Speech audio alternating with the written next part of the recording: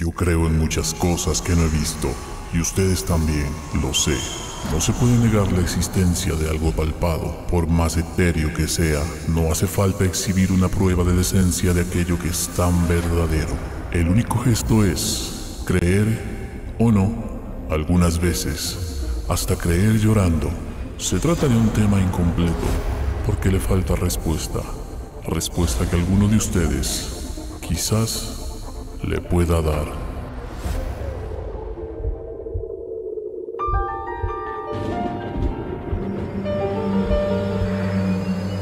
Cierren sus puertas y ventanas. Enciendan alguna luz. Revisen sus habitaciones, armarios, inclusive debajo de la cama. Aunque crean que están solos, no lo están. Algo más los acompaña a ustedes esta noche. Y no es el miedo, es algo del más allá.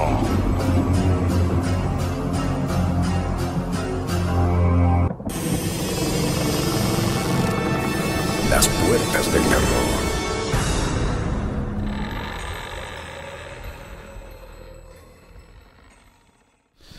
Saludos amigos, buenas noches, bienvenidos y bienvenidas a esta nueva emisión de Las Puertas del Terror. Qué gusto poder saludar como cada martes y jueves a partir de las 21 horas en todo el mundo a través de nuestras señales del canal de YouTube y por supuesto también a través de nuestro canal de Facebook Live. Nos encuentra en todo como Las Puertas del Terror.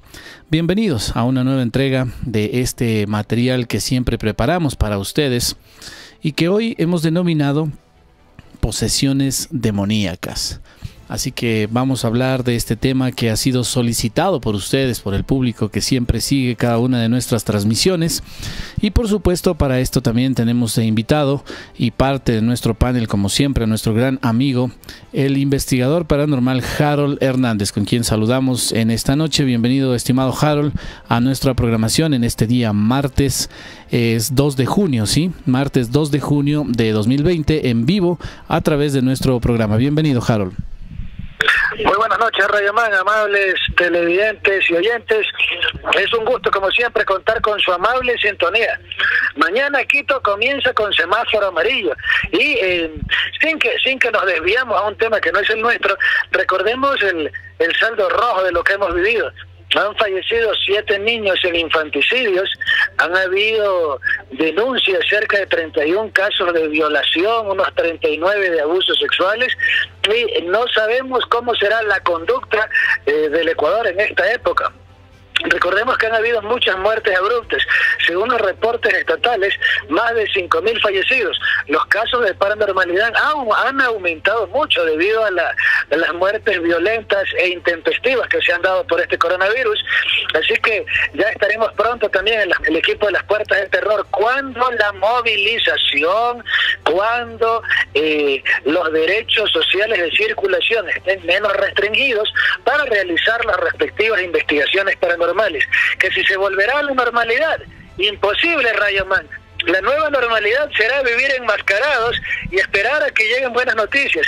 Ya salió estos días, estaba viendo el portal del colega Olger Guerrero, que reportaba que ya en Rusia han sacado una, una pastilla que hace que el virus se lo supere en cinco días. Así que esperemos que este producto que lo lanzan el 11 de junio llegue pronto al Ecuador, que no lo adultere, no caiga en manos del sinvergüenza de la mascarilla para que lo, le pongan precio exagerado y que ya de a poco volvamos a la nueva normalidad y con las respectivas prudencias, porque este mundo necesita músicos, investigadores paranormales, profesores, médicos, comercios dando clases a los profesores, es decir, necesitamos reactivar a la humanidad y mañana comienza el semáforo amarillo en Quito.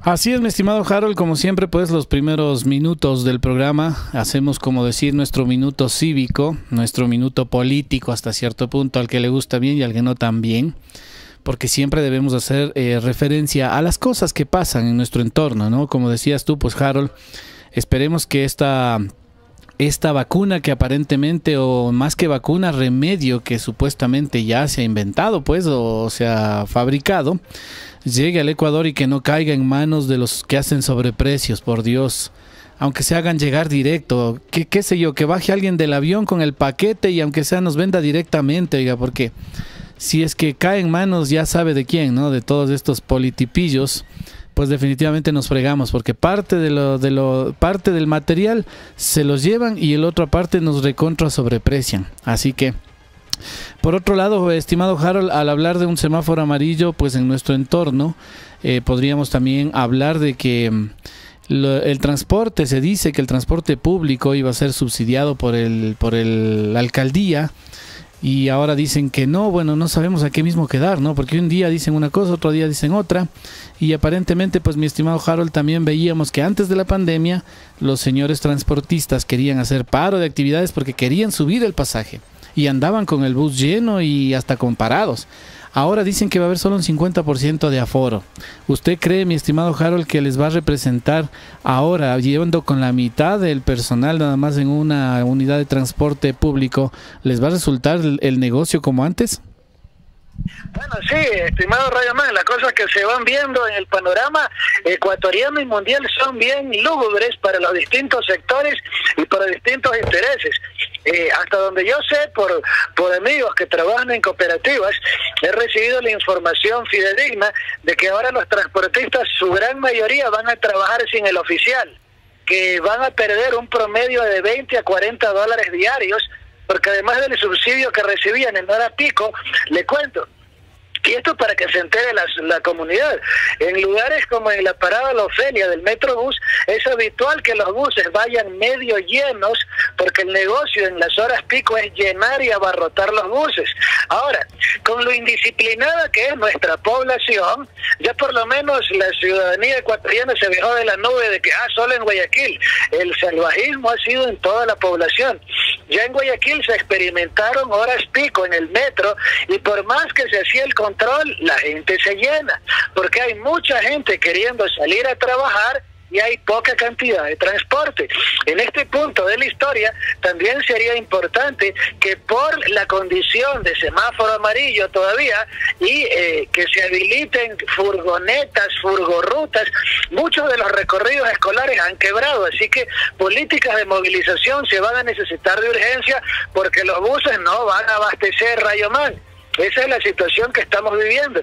Lo único triste de esta historia es que van a haber más casos paranormales para filmar por la inmadurez y los buenos intentos, no vamos a negar que se ha esto se lo ha estado conversando en el municipio y hablando desde hace tiempo, pero también es necesario que se habiliten otras formas de movilización, así salten los señores buceteros, porque el ciudadano necesita salir a trabajar.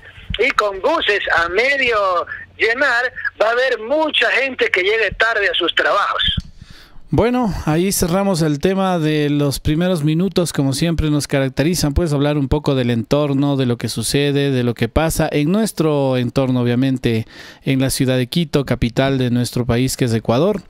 Saludos a los amigos que están en los diferentes países, en España, en Italia, en Colombia, acá hermanos cercanos Gracias por su gentil sintonía. Saludos importantes a nuestros amigos de Perú también que siempre hacen eh, sintonía con nosotros y por supuesto también nos escriben, ¿no? Nos envían algunos mensajes, así como las comodidades que también nos están sintonizando en México. Así que saludos, gracias. Gracias por hacer de nuestro programa ya parte de su entorno también, que es muy, muy bonito decirlo.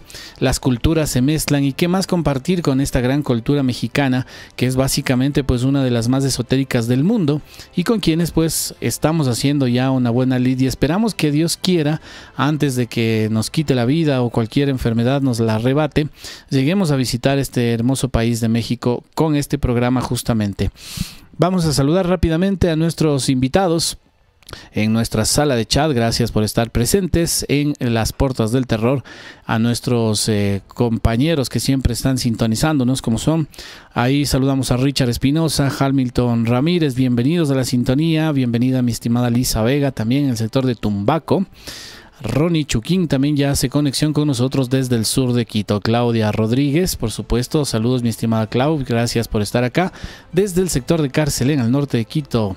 Tamarita Vega también nos sintoniza desde Tumbaco. Fernando Peña Fiel nos saluda al sur de Quito. Gracias, Tamarita Vega. Bienvenida entonces también a la programación. Saludos a nuestro amigo Ian Vivero, a Javier Sánchez también. Bienvenido a la programación. A Darwin Tuapanta. Carmita Nicolalde, por, por supuesto, mi estimada profesora, siempre pendiente ahí. Diego García también se une ya a nuestra transmisión. María José Chávez, Marcelo Guamán está con nosotros ya eh, también en sintonía. Así que bienvenidos, ya van llegando poco a poco los invitados a esta transmisión.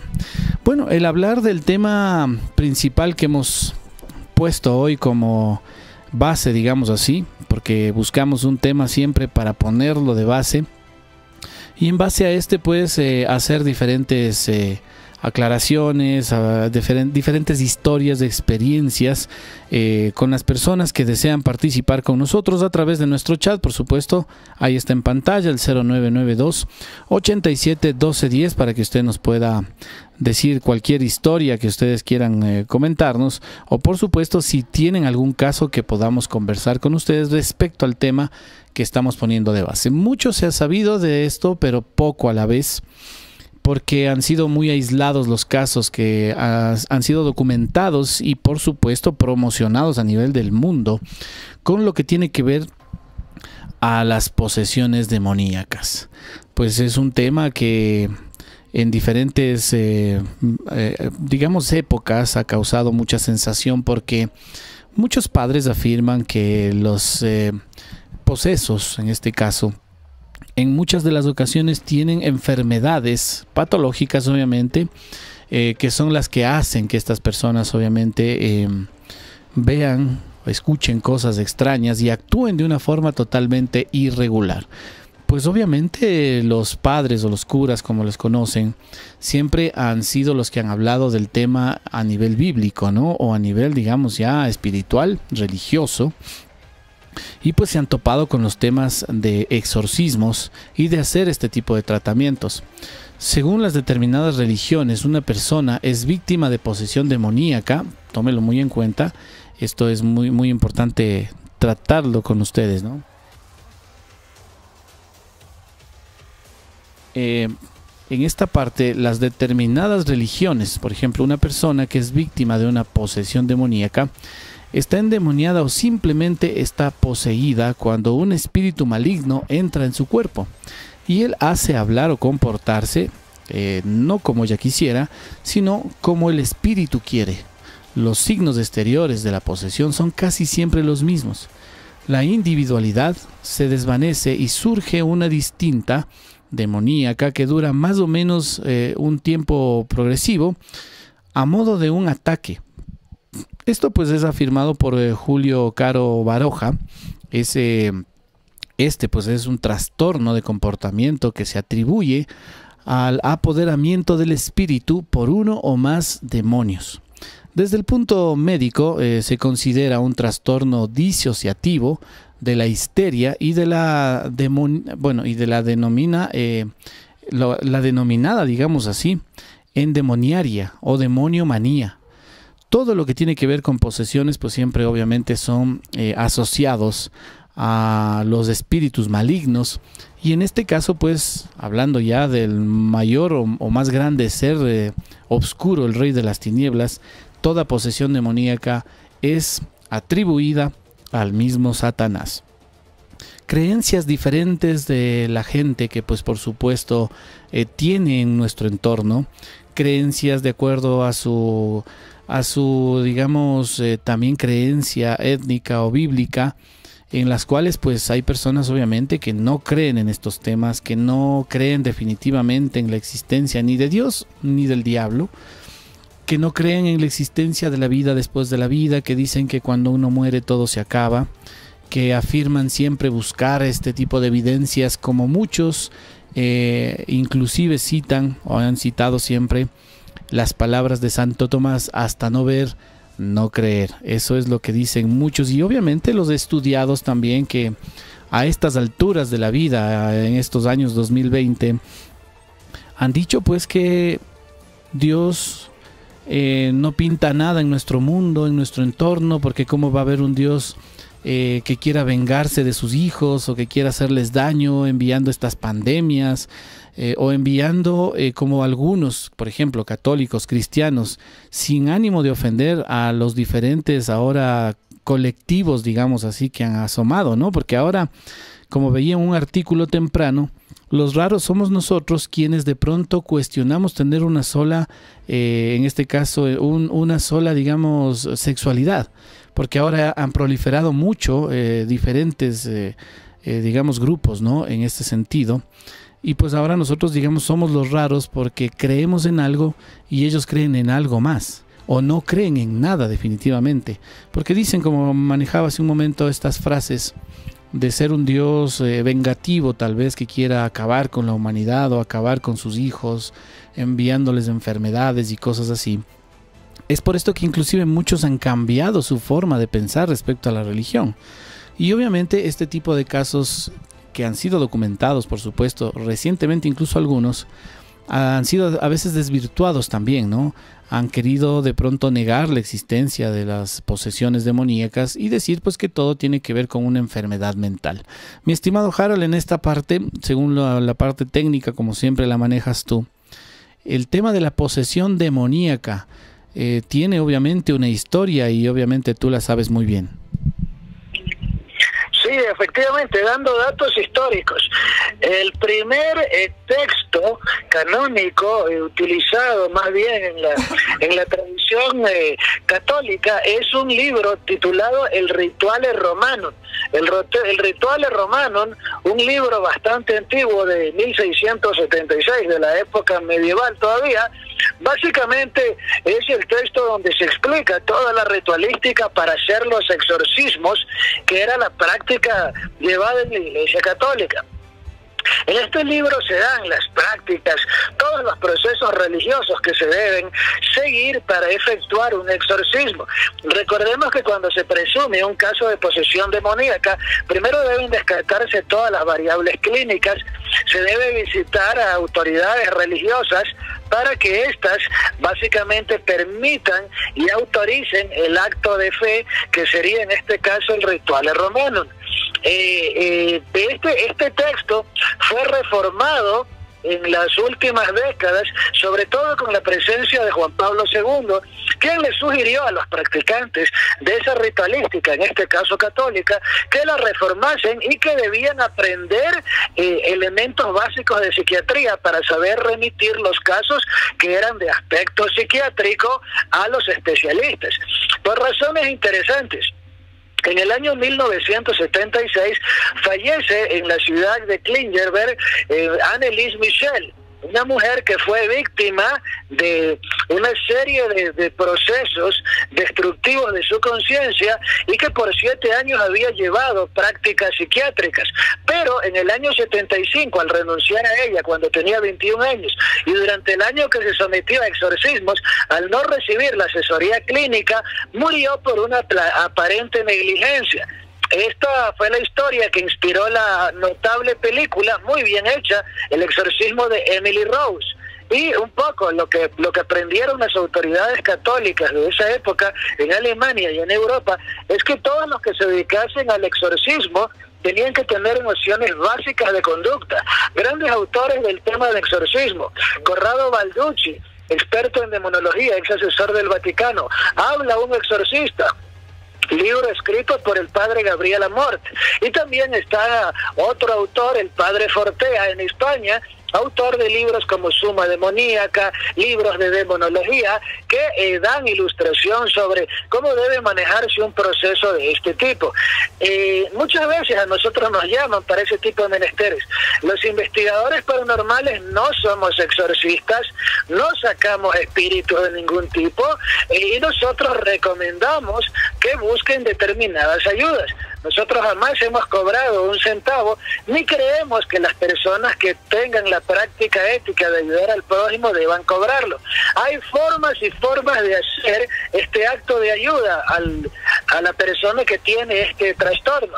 Eh, las tradiciones religiosas lo hacen con un proceso llamado exorcismo. Grupos evangélicos, grupos de tipo católicos, los grupos de corte espírita asentados en Brasil prefieren una práctica más psicológica llamada desobsesión, en la cual a la persona que tiene este fenómeno de monopático, según la, el lenguaje religioso, o que tiene este fenómeno obsesivo, eh, se la lleva donde un grupo de mediums, personas que tengan capacidad de contactarse, le ayudan a ese espíritu con ritos de oración para que se retire, y esa sería la otra expresión asumiendo que no necesariamente son demonios, sino espíritus atormentados.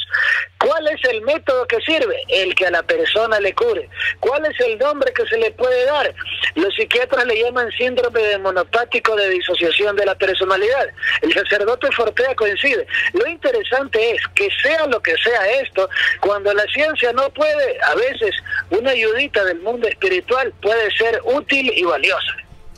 Así es, mi estimado Harold, definitivamente Perdón. Y bueno, como usted decía, nosotros por buscar esta evidencia y por compartirla, pues obviamente no, no ponemos nunca un precio porque es más con el tema investigativo. Pero ¿por qué no eh, decirlo? Pues para toda esa gran cantidad de seguidores, amigos, gracias que nos apoyan y para toda esa cantidad de sufridores también que siempre hay que aclarar las cosas. Nosotros tenemos un club de investigación en el cual estamos ahora mensualmente haciendo capacitación ¿ok? Estamos saliendo con grupos o vamos a salir ya eh, con grupos de personas que se capacitan con nosotros a hacer exploración, a hacer el campo, digamos, de investigación paranormal. Y en este punto, pues, en este club de investigación hemos convenido justamente sacar adelante, apoyar este programa, tanto con esta tienda virtual que algunos obviamente sufridores a veces critican, que cómo exponen estos productos para vender, o sea, ¿qué les importa? Nosotros sabremos y ustedes, quienes gracias gentilmente colaboran con nosotros y consumen estos productos con los cuales estamos ayudándonos a eh, financiar nuestro campo de investigación en el tema técnico, producción, eh, movilización y muchas otras cosas más que necesitamos para generar un programa como este. Cadenas internacionales lo hacen todo el tiempo, ¿no? Si es que han visto o no han visto, tal vez pues les invito a que indaguen un poco. Y de esta forma pues yo siempre eh, aclaro estas situaciones porque hay personas que a veces a uno le ven como que estuviera haciendo los chanchullos que hacen los, los políticos en el gobierno. No, aquí abiertamente les decimos como cualquier curso de manejo, como cualquier curso de cocina, les hacen a ustedes una matrícula y les ponen una mensualidad para darles clases, nosotros hacemos lo propio, esa manera de un emprendimiento, lo que hemos venido haciendo en esta temporada con las puertas del terror en un club de investigación, el cual actualmente tiene un costo de 5 dólares mensuales, en los cuales ustedes deciden si se, si aportan o no, si se suman o no, nadie les obliga, es voluntario, como todo en la vida. Pero como digo, pues siempre es bueno aclarar ese punto de vista de algunas personas que se dedican a poner a veces comentarios tontos en las redes sociales diciendo que sí, que nosotros cobramos por lo que hacemos, definitivamente no. Y si hay alguien que quiera decirnos que nosotros en la historia de este programa que va a cumplir 21 años le hemos dicho a usted que nos pague algo por hacer una investigación paranormal, pues que lo diga. Nosotros siempre hemos estado ahí para apoyarles, para hacer labor social en este sentido, pero pues obviamente en la situación actual como estamos y porque ya no estamos en ningún medio de comunicación convencional, estamos haciendo gestión propia. Nuestro compañero Harold Hernández, que nos ha acompañado siempre, pues obviamente eh, se dedica también a dar clases y hacer algunos emprendimientos que ahora se los necesita hacer. Entonces, muy claro, amigos y amigas, estamos nosotros haciendo estas capacitaciones y si usted es curioso del mundo paranormal, si usted quiere participar en este tipo de seminarios, eh, capacitaciones y asistir a nuestras investigaciones paranormales, les invitamos con mucho gusto, son bienvenidos, abiertas las puertas para que todas las personas que alguna vez se han preguntado cómo será hacer una investigación paranormal, la realicen con nosotros. Así que estamos también prestos a visitar sus locaciones, sus casas, eh, eh, bodegas, oficinas que tal vez tienen problemas paranormales con mucho gusto. Y justamente eh, voy a poner en línea una persona que nos ha contactado Ahora pues en el programa nos llaman, nos visitan de diferentes provincias, inclusive del Ecuador, y nos están sintonizando en, varias provincias también. Y bueno, se hacen presentes, ¿no? Nos comentan un poco de temas, nos dicen que quieren exponerlos también aquí a través del programa y por supuesto recibir el apoyo que nos puede brindar también nuestro estimado compañero Harold Hernández, que es muy conocedor de estos temas. Así que vamos a ubicar la comunicación en este instante con eh, nuestro amigo que es Fausto Cuenca, justamente sí. Fausto Cuenca nos había contactado inclusive desde la semana anterior para que por favor pueda exponer su caso y podamos pues de alguna manera ayudarle. Vamos a asociar esta comunicación. Mi estimado Fausto Cuenca, muchas gracias por estar en sintonía. Bienvenido a la programación de las Puertas del Terror. Buenas noches. Muy buenas noches, Cristian. Es un gusto saludarlo a usted y a Harold. De verdad, eh, la labor que ustedes realizan es excelente. Yo lo sigo desde 2012 cuando ustedes estaban en radio. Pero ahora pues vivo en la ciudad de Machala y tengo el gusto de haberlos encontrado en YouTube y los sigo siguiendo a ustedes. De verdad se los felicita por la labor que realizan en nuestro país. Y, y sacan excelentemente bien la cara por nosotros porque nos están haciendo carril ahora a nivel internacional. Mi estimado Fausto, muchísimas gracias por esas palabras de bienvenida. Tú estás ahora mismo en Machala, ¿cierto? Sí, exactamente me encuentro en Machala. Cuéntame un poquito, Fausto, la experiencia que tú has querido comentarnos, tanto con todo el público que nos sintoniza y justamente con Harold Hernández, quien estamos haciendo eh, este tipo de análisis técnico a todos los casos que nos están exponiendo. Cuéntanos con detalles, Fausto, ¿cuál es tu experiencia? A ver, en primer lugar, me acuerdo que hace años también llamé a la radio a comentar un caso con respecto de que fui agredido por un ente. Eh, y Harold, sin decirle yo exactamente dónde estaba viviendo, Harold me detalló, eh, dice una era un lugar donde había sido anteriormente algún taller, alguna bodega. Y le digo, sí, te estamos arrendando porque justamente en ese momento mi mamá estaba construyendo la casa, y entonces tuvimos que ir a arrendar unos casas para que puedan construir con tranquilidad. Y me quedé sorprendido porque después me enteré por los vecinos que sí, que como nosotros podemos estar viviendo ahí y se ahí asustaban y de verdad nos sorprendimos bastante porque eh, la situación que se dio en ese momento fue una agresión bien, bien fuerte que me cachetearon, yo estaba durmiendo y ¡pam! me dieron este regate cachetar y yo me desperté y no había nadie al lado mío. Yo pensé que era mi hermano o mi mamá que me querían asustar, pero fue algo terrible. Bueno, ahora llamo por otra situación. Eh, pasa lo siguiente, eh, Harold y Cristian. Mi consulta es esta. Estoy soñando bastante con un tío que era bien allegado a mí. Él vivía con nosotros desde que yo era pequeño hasta cuando falleció, vivió en mi casa.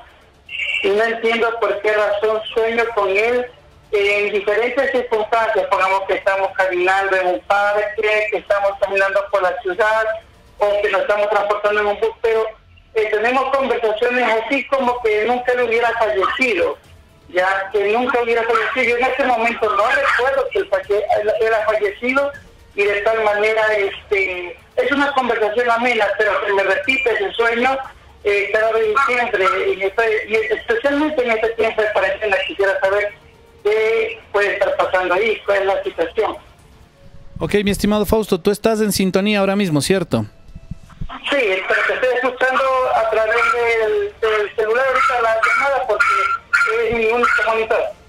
Perfecto, bueno Fausto, vamos a comentar eh, justamente tu tema.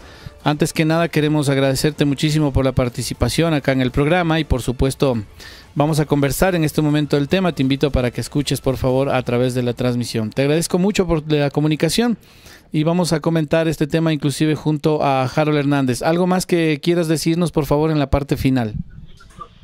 Muchas felicitaciones a ustedes de todo corazón, pues sigan adelante, lo estén haciendo bien y no se dejen este, amedrentar y tampoco quieran eh, declinar en la labor que están haciendo por esos sufridores, que ya saben que de esos hay bastantes y no hay que hacerles caso cristianizar, de verdad. Gracias, mi estimado amigo Fausto, te invitamos a que nos recomiendes pues en tu entorno allá en la, en la ciudad de Machala para que la gente siga sumándose a la sintonía de esta programación. Gracias por tu sintonía. Bueno, hablar un poco del tema, Harold, de cuando una persona se comunica a través de un sueño. Y es cierto, ¿no? Es tal y cual como cuando era en vida. cuando nosotros extrañamos a los seres queridos que perdemos en el camino, tomemos en cuenta, mi estimado Fausto y todos los amigos oyentes y televidentes, que sabemos que cuando alguien cercano fallece, sea este familiar o amigo, pues su partida obviamente nos duele mucho y nadie se termina de resignar para empezar en esto. Nos causa una cierta, digamos, conmoción, hasta cierto punto también mental, porque no tenemos que desconocer que nuestra mente está siempre eh, activa, digamos así, sobre todo con los recuerdos, ¿no? Tomemos una cosa en cuenta que aparte de poder ser un problema paranormal, si nos vamos a un problema que podría ser normal, el extrañar a una persona, el no dejar de pensarla. Ahora mismo, quienes son, por ejemplo, enamorados, personas que se quieren una a otra, así estén lejos, siempre están conectados a través de ese sentimiento llamado amor de ese sentimiento que de alguna u otra forma despierta un sexto sentido que hace saber o sentir cuando una u otra persona tiene problemas a distancia inclusive y uno puede presentirlo sin necesidad de ser un familiar directo, sino simplemente conectado con estos lazos, digamos así ya, de, de, amor y de extrañarse. Ahora, si este, este lazo que se une ahora en vida se separa cuando está en el hecho de muerte, a no ser obviamente que sean únicamente eh, esposos o parejas, sino también familiares cercanos como primos, hermanos, tíos, padres, hijos, pues todos vamos a tener esa sensación y ese sentimiento de tratar de buscar a nuestros familiares primero para tratar de consolarlos también, ¿no? Y decirles que están bien y que ya pues están en mejor vida, un mejor o en mejor lugar, digamos así. Eso es básicamente lo que un espíritu o espectro busca. No hay nada de lo fuera de lo común o de lo normal en ese sentido, decir que si uno se extraña y si es que ya es una persona que ha fallecido y ya no está en nuestro entorno, pues simplemente nos busca o le buscamos. Y mucho de esto, mi estimado Fausto, sucede justamente así, a través de un sueño. En el sueño quiere decir que él o tú prácticamente se están de alguna manera extrañando, ¿no? Eh, a veces no son muchos los familiares que tenemos eh, en el camino perdidos. Por ejemplo, yo tengo la, la, digamos, la pena de haber eh, perdido ya en mi vida cercana, digamos, a un tío, tío hermano, a mi abuelo, y básicamente pues serían los dos eh, seres más cercanos que se han adelantado en el camino y que por supuesto también se han hecho presentes a nivel de sueños, sobre todo mi tío al principio, antes de él, eh, digamos, de alguna forma presentarse de una forma ya directa, empezó con los sueños. En los sueños quería decirnos algo quería expresarnos el hecho de que él ya no estaba en nuestro entorno. Además, eh, mi abuelo, pues obviamente hizo lo propio, ¿no? A través de sueños, como que vino a despedirse también. Es un sentimiento, como digo, que uno tiene como una especie de receptor cuando alguien fallece. Mi estimado Harold, eh, ¿cuál es tu criterio sobre el caso que nos acaba de comentar nuestro amigo Fausto Cuenca? Bueno, sí, saludos a Fausto, gracias por la amable sintonía. Efectivamente, los sueños, y desde el punto de vista del psicoanálisis de Sigmund Freud, eran la vía regia para encontrar los traumas del inconsciente. Si lo redujésemos a esa simple experiencia, a veces los sueños son para recuperar tiempo perdido, emociones y sentimientos. Pero si lo revisamos desde una óptica de la, eh, del análisis junguiano de la conciencia, de la parapsicología, los sueños también es el vehículo, o son el vehículo para normal para comunicarnos con experiencias espirituales, con seres queridos. Muchas veces los espíritus de los seres amados, cuando estamos viviendo momentos de crisis, de ansiedad, como en estas épocas de pandemia, se dan tiempo para visitarnos y podernos aconsejar y esclarecer con sus consejos. Los lazos de amor no se pierden porque el vínculo espiritual se mantiene en los sueños. Recordemos que según estadísticas de los expertos en parapsicología de Universidad de Duke en Estados Unidos, cerca de un 20% de los sueños que tenemos en la noche suelen tener matices de corte paranormal y por eso es importante que estos sueños sean orientativos. Uno de los clásicos de la literatura universal, la Divina Comedia de Dante Alighieri, carecía de los últimos capítulos, que Dante los había guardado cerca de una ventana en la pared de su casa. Durante la noche en sueños, uno de sus hijos tuvo la revelación de que esos capítulos estaban guardados en un lugar. Él se puso a buscar en la casa de su padre y encontró cerca de una ventana en la pared los últimos manuscritos del clásico de la, literatura, de la literatura, la Divina Comedia. Es decir, muchos de estos sueños a veces nos dan información de las cosas importantes y por eso el sueño paranormal también debe tomarse en serio. Muy bien, muchas gracias por su comunicación, mi estimado Fausto. Gracias a nuestros amigos de Machala. Quiero enviar saludos, gracias. Voy a poner el chat en pantalla, porque hay veces que mm, las personas que dicen, ¿y qué estará leyendo ese Rayoman? Dice, siempre lee mensajes que ni siquiera le llegan, dice. Lee mensajes que no hay, que no, no existen, dicen.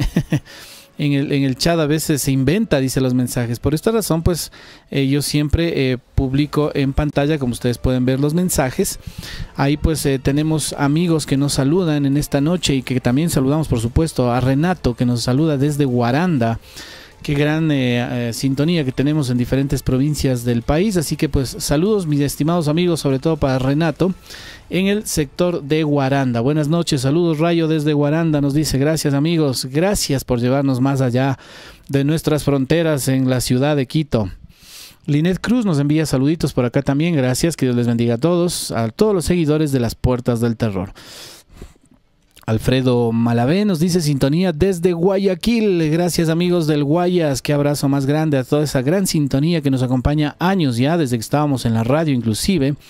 Eh, nos acompañan en el Manso Guayas. Bendiciones para ustedes, Alfredito Malavé. Muchas gracias por tu gentil sintonía. Espero que Dios te eh, dé muchas bendiciones y que ya la estén pasando de mejor manera. Sabemos que ha bajado bastante el índice de contagio en la provincia del Guayas, así que les enviamos un millón de bendiciones. Saludos al grupo, dice chicos eh, del terror y en especial a Joana. Perfecto, ahí le hacemos llegar el saludo entonces a Joanita de parte de Alfredo Malabé. John Yupa nos está saludando también conectado en el sur de Quito. Muchas gracias amigo, bienvenido al programa. Eh, Jimena Camacho dice hola Rayo, buenas noches, felicidades por el programa y que sigan 20 años más. Saludos desde el sur de Quito. Gracias mi estimada Jimena. Alex eh, Fefo nos dice gran programa, éxito, sigan adelante. De paso dice saluditos para Carla y Elian en el sector de Sangolquí. Gracias a la gente del Valle de los Chillos. Brian eh, Vega nos envía también saludos. Dice la pregunta sería ¿cómo le hace Harold para saber tanto sin olvidarse de nada? pues cuando se estudia, cuando se es una persona eh, bastante dedicada en el tema del estudio y cultiva mucho, ¿no? Como Harold siempre, pues su cuerpo y mente, obviamente eh, se, logra ser así como es Harold, un erudito, una enciclopedia andante, como dicen. Felina dice, Rayo, cierto que los, eh, que los psiquiatras pueden robar tu alma. Brian Vega nos envía saludos también desde el sur de la capital. Augusto Puyugari nos envía saludos del sur de Quito, gracias. J. Lucero, buenas noches. Saludos al sur de Quito, Santa Bárbara, bendiciones, Rayo y Harold. Eh, por acá Fercho Peñafiel también nos envía muchos saludos al mejor programa, dice del terror. Cristian Aguirre nos acaba de escribir. Eh, hola Rayo, felicitaciones por tu programa. Un saludo desde el sur de Quito para mi esposa Vilma y para mis hijos Cristian y Madison, que los amo de parte de su padre Cristian. Perfecto, mi estimado Cristian Aguirre, bendiciones en tu familia. Que Dios les cubra con su manto sagrado, que les dé mucha salud, mucha vida, mucho trabajo Gracias por sintonizarnos en compañía de tu querida familia, mi querido amigo, a su esposa Vilma, por supuesto. Bendiciones y a, Christian y Madison, gracias por ser seguidores también de este espacio en YouTube, porque estamos justamente en el chat de YouTube. Eh, Rey David nos dice saludos desde Guayabamba, Rayito y Harold, éxitos, bendiciones. Joanita Masache dice saludos, Rayo, bendiciones a todos. Son los mensajes que nos llegan al momento a través de nuestro canal de YouTube. Ya vamos a leer algunos mensajitos eh, próximamente de nuestro canal de Facebook Live también, por supuesto que hay mucha cantidad de mensajes que nos están escribiendo en este mismo momento a través de nuestra transmisión. Tenemos 250 eh, eh, conectados en nuestra sala de chat de Facebook Live. Por supuesto, eh, de mi parte, siempre ese agradecimiento grande a todos quienes están ahora compartiendo nuestros enlaces de los diferentes canales para que más personas se conecten con nosotros desde los diferentes lugares de nuestro país y por supuesto desde el exterior. Mensajes que llegan en este instante aquí a través de este Facebook Live. Nos dice Dani Ale Patiño, saludos Rayo Harold, un afectuoso saludo, gracias. Jordan Fracio nos dice, Jordan Fracio dice acá, saludos Rayito desde Malchingui City, perfecto, gracias. Eh, Jared Nando dice, ¿qué tal? Buenas noches Rayo, saludos desde Cayambe. Mi estimado Dieguito Romero, espero que esté en sintonía. Nos comentaba eh, Diego que están consiguiendo también ya una locación cerca de Cayambe, que es un castillo impresionante, antiguo, nos decía mi estimado Harold, que parece que pertenece a estos grandes amigos que alguna vez nos invitaron a la hacienda Huachalá, también por este sector, así que ya estaremos visitándolos, mis amigos, en Cayambe. Marlon Chassi nos envía saludos desde La Tacunga. Abrazos, amigos de La Tacunga, qué gusto poder saludarles. Javier eh, Javito dice, Harold es una biblioteca humana Marco Parra nos envía felicitaciones. Gracias, David Almendaris. Saludos a la familia Almendaris. Eh, hola, Rayo, felicitaciones por el programa. Nos dice eh, DJ, DJ Bebra. Hola, saludos desde el sur de Quito, desde la lucha de los pobres. Por supuesto, eh, nuestro amigo Joan Balseca también está en sintonía, dice con 16 personas más que están mirando este programa y que están ya pendientes del segmento Data de Muerte. Así que hoy tendremos nuestro segmento Data de Muerte, amigos y amigas. Por supuesto, como es ya una costumbre de este programa, poner contenidos interesantes para todos ustedes eh, en estos días martes y jueves que manejamos este este tipo de programación. Me da un segundito, mi estimado Harold, porque quiero manifestar que hoy el tema será Albert Fish, que es asesino caníbal, el que vamos a estar conociendo ya mismo, conocido como el hombre lobo. De esto estaremos hablando hoy en el segmento Data de Muerte. Adelante, Harold. Sí, efectivamente, vamos a tener ese, eh, ese segmento tan interesante, Joan Balseca. ¿Por qué es importante? Y siempre insistimos, la perfilación criminal, porque la perfilación criminal nos permite entender la conducta del delito, los modus operandi, los hábitos, nos permite esclarecer delitos y nos permite prevenirlos. Y por eso es importante educarnos en la historia del delito, como nos hace Joan el favor de compartir con el público este interesante segmento. Este sábado, nos, indica nuestro amigo Joan, este, va a haber un evento interesante por vía online que se llama Encuentro Académico para Filias y Delitos Sexuales, dirigido por Joan Balseca, justamente para capacitar en estas áreas tan importantes de la criminología. Y pueden los interesados contactarse al 098 388 7737 098 388 7737 el tema es de parafilias y delitos sexuales, justamente para educar a la población en la prevención de este tipo de casos. Y es interesante, terrible saber, en esta pandemia han habido 8, eh, 7 infanticidios. 39 casos de violación y 31 de, de agresiones sexuales. Más o menos ese es el dato de lo, de lo que se ha visto en pandemia. Y por eso es importante conocer las perversiones que hay y cómo prevenirlo. Así que ya lo saben, se pueden comunicar a los teléfonos indicados para tener la asesoría y educarse en estos temas de criminología, gracias al amigo Joan Balseca, al teléfono 098-388-7737 y educarse, esto es este sábado 6 de junio a las 20 horas por vía online, yo estaré también colaborando y participando eh, como oyente y de pronto por ahí si si hay la oportunidad de compartir también un poco, pero gracias a John Balseca por esa por ese excelente evento donde se educará en este tipo de temas de prevención. Un dato escalofriante, Rayo Man. Se habla mucho de la Iglesia Católica, de las mafias de Hollywood, en el abuso de menores, pero la institución donde más se abusan menores es en la familia. Entonces es tiempo de aprender cómo prevenir ese tipo de cosas que hacen tanto daño. Muchos de los espíritus que gimen y sufren en los mundos atormentados fueron personas víctimas de agresiones sexuales y muchos a lo mejor murieron sin poder revelar su sufrimiento. Así es, mi estimado Harold. Bueno, ahí sí.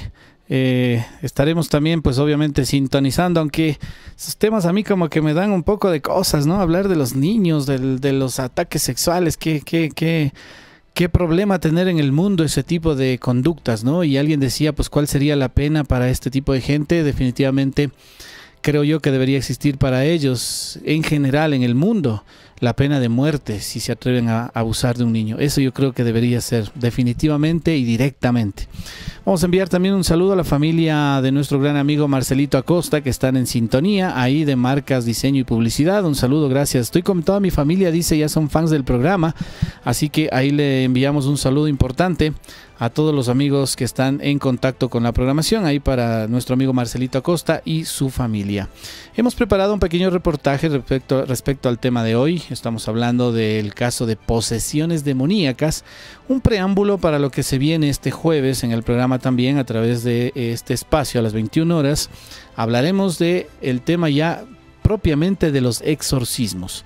Si hoy hablamos de las posesiones, cómo se dan, en qué entorno, en qué ambiente, el jueves estaremos hablando de cuáles son los exorcismos más famosos realizados, cómo se les ha llevado a cabo, quiénes han sido y cómo sería una fórmula para que usted tal vez si tiene este problema en su entorno, también lo pueda tratar de alguna forma. Recordemos que antiguamente para realizar un exorcismo se necesitaba obligatoriamente contar con un permiso o autorización desde el Vaticano, es decir, el Papa tenía que firmar un permiso para que un padre o alguien pueda realizar un exorcismo.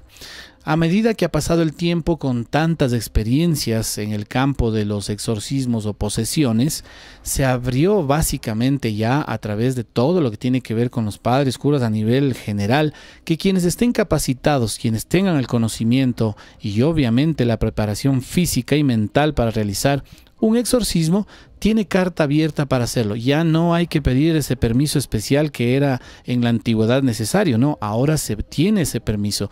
Y es justamente porque en el mundo ha proliferado eh, el caso de las posesiones, aunque es increíble, aunque en su entorno usted no haya visto nunca este caso no quiere decir que no exista o que no haya sucedido, tal vez en sitios cercanos inclusive, casos aislados donde han existido este tipo de posesiones y se han realizado exorcismos, inclusive se ha tenido que a veces realizar exorcismos a las casas, viviendas o sitios, pues básicamente que los conocemos que al ser un sitio inanimado, como se conoce o se dice, es un sitio inerte, ¿cómo puede sufrir una posesión? Pues sí, sufre la posesión porque sufre el, impregnamiento de un espíritu maligno que no quiere salir de ese entorno, que no quiere salir de esa casa. No sé si ustedes alguna vez leyeron o vieron, hasta en películas se muestra en los rituales cuando se arma un pentagrama y se hace un círculo a través del cual un demonio o no puede salir o no puede entrar. Casos importantes respecto al tema del fenómeno de posesiones demoníacas les presentamos en este momento en un pequeño reportaje que he preparado justamente con motivo de este tema tratarlo durante la programación. Póngale mucha atención, continuamos con más. Son las 21 horas 46 minutos en vivo a través de las puertas del terror desde Quito, Ecuador. Las puertas del terror.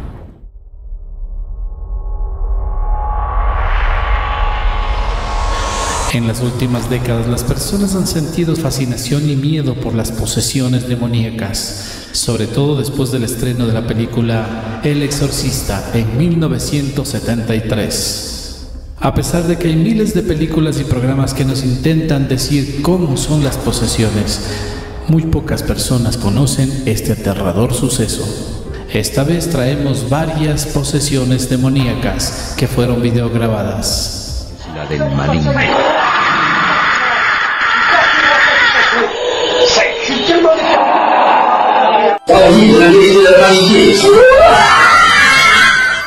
En este primer video vemos cómo una persona es poseído por una entidad demoníaca y el padre hace un exorcismo invocando la palabra de Dios.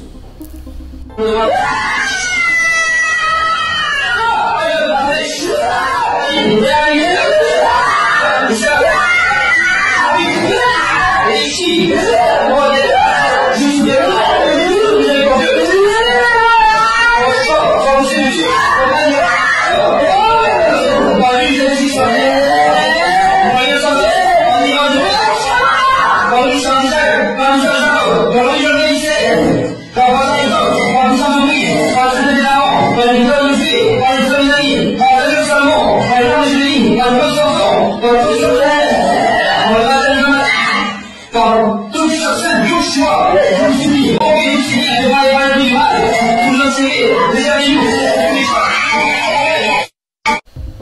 Después de acudir a un templo donde se practicaba la palabra de Jehová, un hombre fue poseído por un demonio cuando el sacerdote se acercaba con una cruz de hierro echando agua bendita.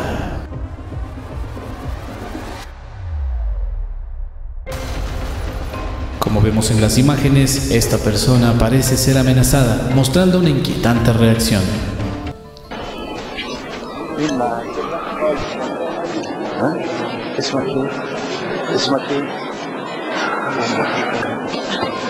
اسمك إيه؟ انحرف أو سكنك مجسد تحضر وتكلمك اخرس واسمك لا اخرس لا آه. انت بترد عن المسيح آه مين هو المسيح؟ مين هو المسيح؟ أأمرك باسم يسوع المسيح مين هو المسيح؟ ماليش دعوة مين هو المسيح؟ ماليش دعوة أنا بامرك باسم يسوع أنت تحت الجزمه لا! أنا مالي لا! تحت الاقدام مش عارف مش عارف كل سهل كل عارف تقطع كل الامطار وتدخل كل الحمار لا! مش عارف باسم يسوع المسيح الله يكفر. يقطع كل الرباطات ابطل كل المحاربات امين مش غالي مش غالي مش غالي Ahora tomar. Suéltala. Otro material inquietante es uno recogido en México, en Culiacán. Cuando varias personas transitaban por el distrito del rey Culiacán, se topan con una mujer elocuente que en perspectiva estaría poseída. Acercándose a ella, ésta se comportaba de una manera muy inusual. Se escuchaba que había acudido a una iglesia y el padre la negó entrar. Fue exorcizada con éxito. Ahora tomar. Suéltala. Ay, tu chingada madre. A la verga. Cuidado, que se ¡Suéltate a la verga! ¡Ay, ay, no! ¡No! ¡Ay, la verga! Ven. La pelaste la verga. Ahora vean. Déjate de esta tontera ya. Déjate de eso. Chingada madre. Déjate de eso. No estés chupando eso ya. Ey, no estés chupando eso. No, no le dejes que muerde el árbol. No, no. Ya no lo va a hacer. ¿Tiene una pieza entera hasta la? No, no Nadie. ¿Quién es? ¿Quién es? Nadie. ¿Quién es? ¿Quién es? Sofía, ya estás con Dios, mija, ya no va a pasar nada. No nada, no nada, es un árbol. Es un árbol, es vida, un árbol, es vida. Lo que usted quiera. ¿Y por qué no le habla al padre aquí de la iglesia? ¿De Ay, si la corrió. La corrió el padre. Pinche viejo. Venga.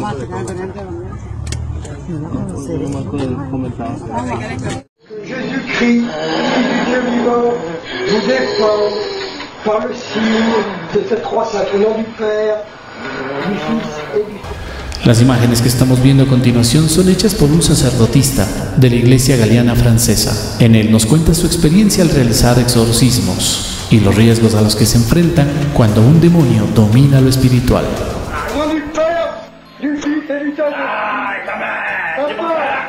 Allez, filiale, ça gueule, tu t'en vas. Du Fils et du Saint-Esprit.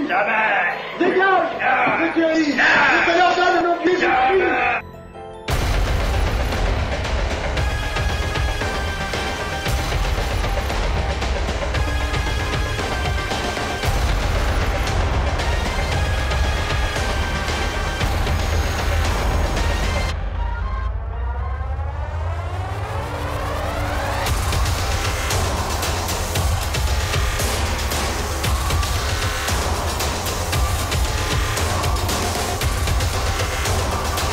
Este exorcismo ocurrió en la Toscana de Italia, donde una adolescente fue embrujada por un espíritu llamado Satán.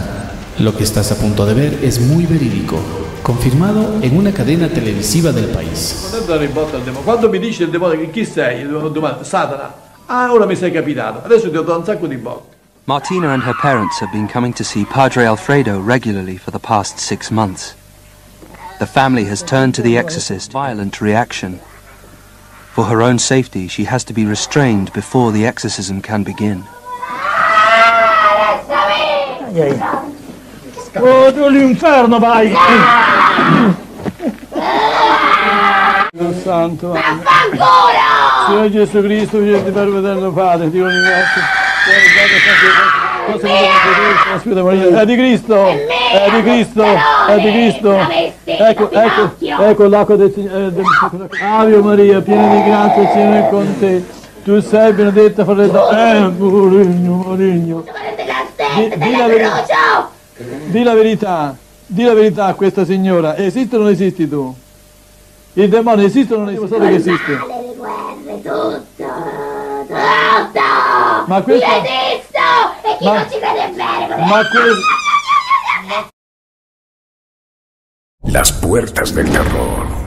Adquiere nuestras ediciones en audio y video y investigaciones que contienen psicofonías. Las puertas del terror. Bueno, muy bien, ahí está. Por ahí al final como que se fue un poco la señal a otro video, no sé qué pasó. Pero bueno, ya estamos listo, listo. Gracias a todos los amigos que están en sintonía y están ahí pendientes de esto, pues que estamos mirando y analizando el día de hoy con respecto a lo que tiene que ver pues con las puertas del infierno, con las puertas del terror. Alguien preguntaba por ahí insistentemente y de una forma un poco, eh, digamos, eh, violenta. ¿Qué tiene, dice, de las puertas del terror? ¿Qué, hay? ¿Qué, qué puerta tiene terror? Dice. Debe ser algún niño o algo que se coló en nuestro chat de YouTube. Pues bueno, con mucho gusto a todos les invitamos siempre a estar en sintonía, niños, adultos, mayores, adultos mayores, por supuesto, a quienes quieran y tengan afición por estos temas. Ver estas eh, imágenes eh, bastante hasta cierto punto grotescas, que pues básicamente nos muestran la violencia con el que inclusive actúan algunos eh, cuando tienen casos de posesión. Esto pues básicamente es eh, lo que venimos tratando en este programa desde hace muchos años acá, eh, las posesiones demoníacas que inclusive nos han contado, así como el tema del fenómeno ovni, siempre hablamos y decimos que inclusive los pilotos nos comentan este tipo de avistamientos, así también nos comentan algunos sacerdotes, ¿no? Y nos cuentan pues eh, cuál es la reacción y qué se vive alrededor de este tipo de posesiones demoníacas. Bueno, por acá estaba acomodando un poco pues este mousepad porque hoy justamente lo he traído, es el, el mousepad oficial de las puertas del terror, sí, como ustedes lo pueden ver. Aquí es donde usted pone su mouse para que funcione óptimamente. Qué bonita la impresión, ¿ah? gracias a marcas diseño y publicidad. Excelente este mousepad que nos ha llegado y que les vamos a distribuir en esta semana a las personas que nos han solicitado este excelente producto, también pues parte de nuestra tienda virtual que usted puede verla en el costado, todos los productos que estamos teniendo para ustedes en esta ocasión. Ya estamos ahí con los, las agendas, los llaveros, están llegando las camisetas, las chaquetas en diferentes presentaciones. Ahí está todo lo que usted puede también eh, adquirir a través de nuestro programa. Mi estimado Harold, ¿usted ha estado presente en alguna oportunidad, en, una, en un exorcismo? ¿Usted ha sido tal vez testigo de la realización de algún eh, exorcismo en la historia de su vida, digamos, de investigador o de sanador en el caso de su trabajo, Harold?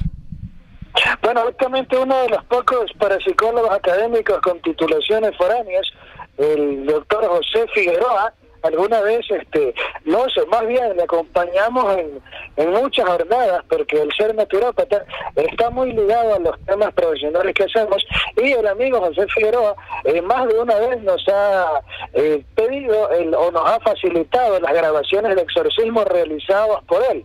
Eso es lo más cercano que he estado a un tema exorcístico. Eh, yo básicamente nunca he estado en un evento de esos en vivo, más bien los he visto desde vía documental y el, el caso más escalofriante que vivimos de un fenómeno poltergeist era el de esta jovencita adolescente Estimado Harold, si le puedes ubicar a tu teléfono de la forma en la que acostumbramos pues tenerlo claro porque si no está muy difusa la comunicación, mi estimado Harold. A ver si ahí estamos mejor. Ahí ahí es ahí es la posición, mi Harold. Péguele ahí ese teléfono y no lo mueva. Adelante. Esa, esa es la situación donde vivimos. Vivimos en una montaña de la, muy lejos del centro de la ciudad y aquí la cobertura es un poquito complicada. Eh, le contaba que gracias a la, colaboración del amigo naturópata y estudioso de parapsicología, uno de los pocos titulados en el tema, el señor José Figueroa, más bien hemos podido disfrutar de videos donde, donde se ve la realización de exorcismos, pero así verlo en vivo, no he tenido el gusto de ver un exorcismo en vivo a lo que hemos estado dentro del fenómeno paranormal, a este tipo de, de- asuntos, que sería el caso de Poltergeist, fue el de una casa en el sector occidental, noroccidental de Quito, en el que pudimos estar con Rayo Man filmando la casa de una niña adolescente que aparecían rasguños en su espalda y le, rasguñaban en forma de red, en forma de líneas cuadradas, y era espeluznante el nivel de paranormalidad en ese sitio. Pues eh, a lo largo del tiempo también hemos tenido la oportunidad de conocer, como por acá nos preguntaba, pues nuestro estimado amigo Diego Romero también, el hablar un poco de las maldiciones de las películas de los exorcistas, por ejemplo. Eh, una tía dice de Linda Blair tuvo una muerte violenta, al igual que algunos actores del reparto, y otra es la actriz del Conjuro, que también pues eh, se despertaba, dice, a las 3 y 33 de la mañana, hora en la que se supone combatían los demonios. En muchos de los casos alguien podría llamar a esto como una simple coincidencia, ¿no? Pero nosotros eh, no podríamos hablar de coincidencias cuando pues estamos hablando de que el hecho de ir a buscar la energía residual, el buscar la energía paranormal, siempre atrae este tipo de cosas. Alguien me decía, es, eh, ¿será cierto que cuando uno se pone a contar historias de terror, eh, ¿será que entonces eh, se vienen, dice, los espíritus, los fantasmas, se hacen presentes junto a nosotros? Por supuesto. Si básicamente lo que estamos haciendo es una invocación al hablar de los temas como el conjuro, hablar de un conjuro es básicamente un ritual en el cual conjuras a algo, al demonio. Entonces, pues básicamente el hablar de los conjuros, que ya hemos hablado inclusive en algunos temas, es eh, justamente atraer o encadenar hasta cierto punto a un personaje hacia eh, la divinidad o hacia el demonio. Porque puedes, eh, Harold, tú que conoces del tema del conjuro, ¿cuál es el tema del conjuro realmente? ¿Cómo es en la vida real un conjuro? Bueno, hablando en términos reales, un conjuro es un acto ritual en el que eh, se hacen promesas de corte espiritual y este se obtiene la proyección de energía con alguna persona. Eh, básicamente, eh, las personas que son vulnerables a cualquier acto de hechizo, de brujería, son individuos que tienen de pronto debilidad emocional, psicológica o individuos vulnerables. Hablando en términos técnicos, por eso es que hay lo que todavía la gente le llama mal de ojo. Cuando un bebé es muy agradable, un adulto se lo quiere llevar y lo quiere tocar, como, como, pues, como ese sentimiento de tener un bebé, y ese acto de, de acercarse a la energía vulnerable de un niño genera lo que se le llama en el lenguaje popular mal de ojo. Es algo que ya venía desde la medicina romana, de la medicina indígena, y por eso hay las famosas limpias con huevos, con plantas y etcétera. Entonces, existen personas más vulnerables a estos fenómenos de corte paranormal, de conjuros, de actos rituales, de hechizos. Existen personas hipocondríacas que se enferman e inventan enfermedades y existen individuos que tienen vidas emocionales no muy ordenadas y son presa fácil más de este tipo de cosas. Si una persona ya es adulta, es fuerte y lleva una vida más ordenada en lo emocional y en lo psicoespiritual, difícilmente este tipo de actos rituales como conjuros, sortilegios, hechicerías le harían daño. Bueno, protegerse entonces. Por ahí nos decía Diego en la información pues que eh, ya se ha hecho el acercamiento con las personas del castillo de Huachalá, que ya se está gestionando para tal vez en unos 15 días tener ya una fecha tentativa de la realización de una exploración en este sitio. Así que saludos también pues mi estimado Diego a todos los eh, amigos y amigas que laboran ahí en el nuevo aeropuerto de Tababela, en el aeropuerto Mariscal Sucre que justamente pues sabemos que ya en estos días se están abriendo actividades. Eh, tengo conocimiento que ya mañana llegarán los primeros vuelos internacionales.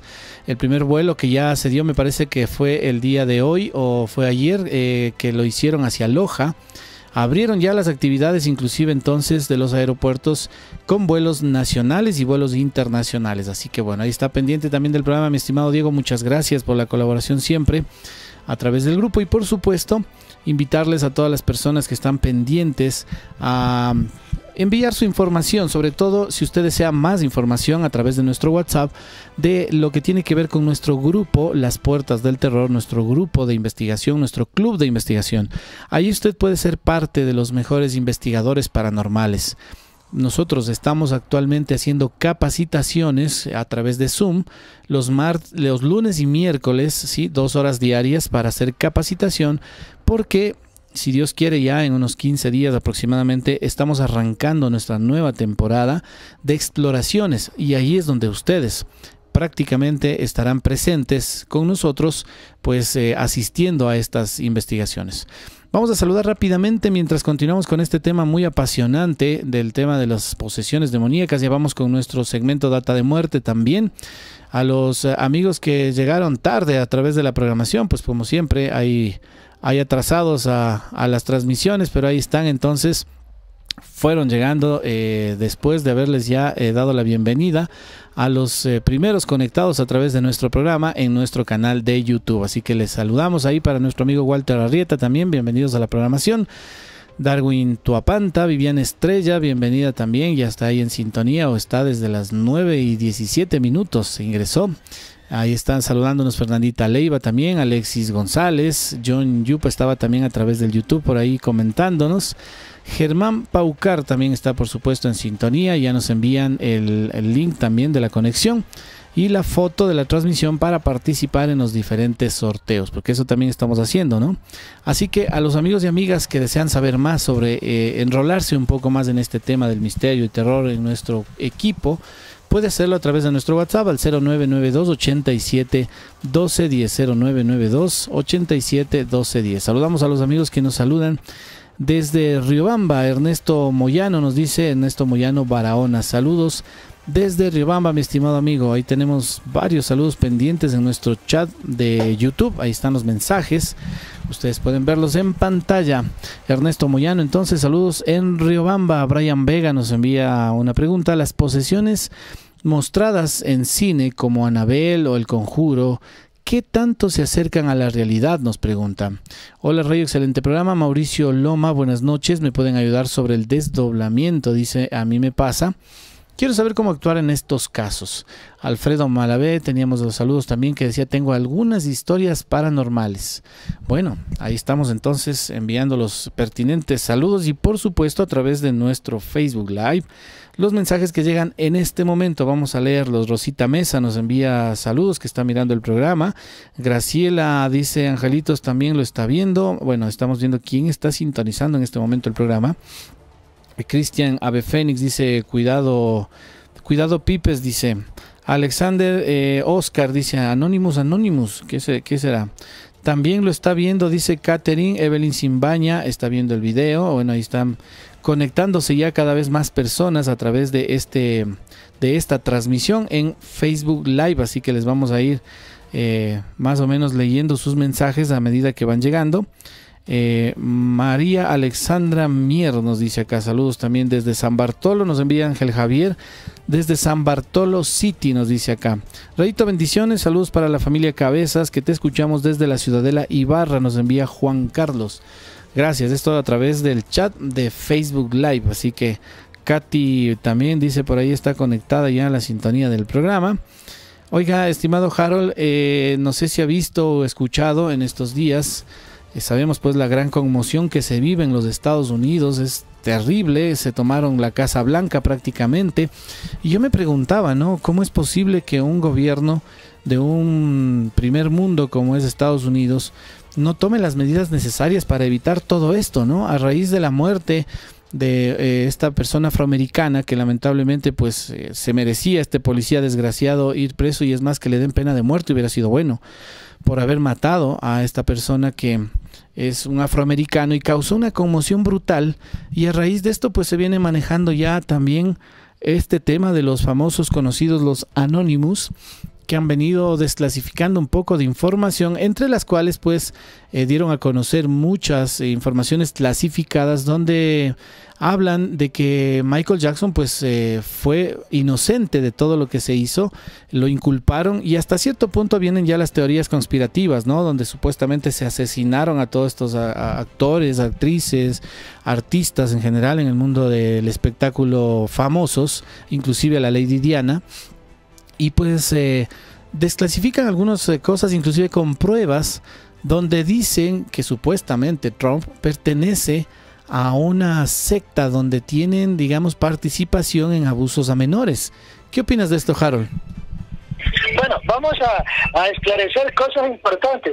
Eh, quienes han seguido mi trayectoria periodística saben que yo soy muy enemigo de las teorías conspiracionistas, sobre todo de aquellas donde hay mucha calumnia, mucha especulación, etcétera. Vamos definiendo punto por punto. Número uno, todo el mundo sabe que Donald Trump es un tipo altamente racista, que hasta en su campaña eh, lanzaba a actores disfrazados de mexicanos al piso porque decía que iba a poner un muro para cerrar la frontera.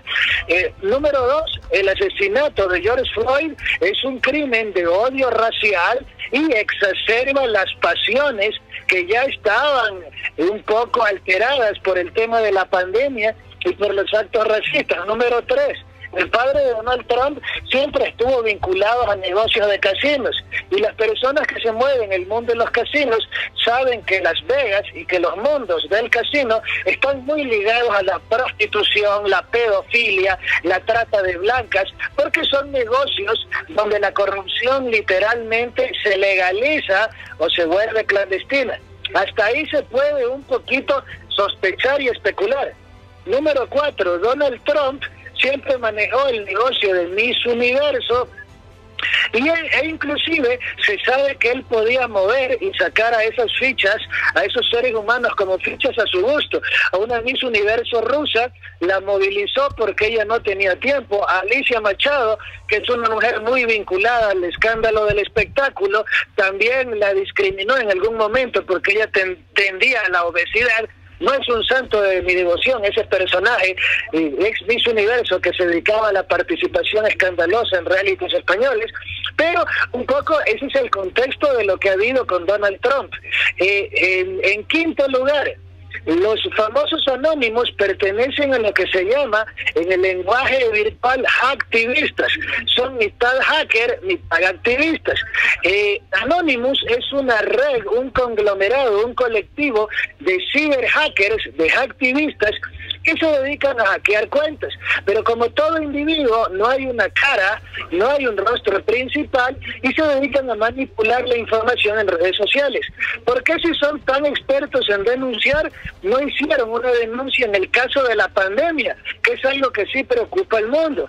Segundo, de estas historias raras y excéntricas del famoso Pizzagate, el único resultado real fue que ellos en sus supuestas denuncias calumniaban que, que en una pizzería eh, se producían este tipo de reuniones de pedofilia y terminó con un idiota yendo a repartir balas en la pizzería.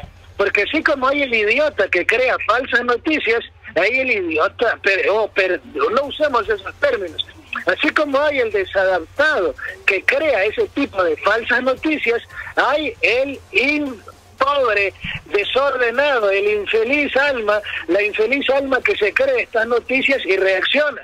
Recordemos que Estados Unidos es el país más armado que hay. Entonces, que sale la historia del Pizzagate, que Hillary Clinton y el presidente Trump estaban vinculados, pero mientras no haya evidencia técnica, forense, pericial, no haya una, eh, no haya una constatación técnica de eso, todo eso es mera especulación.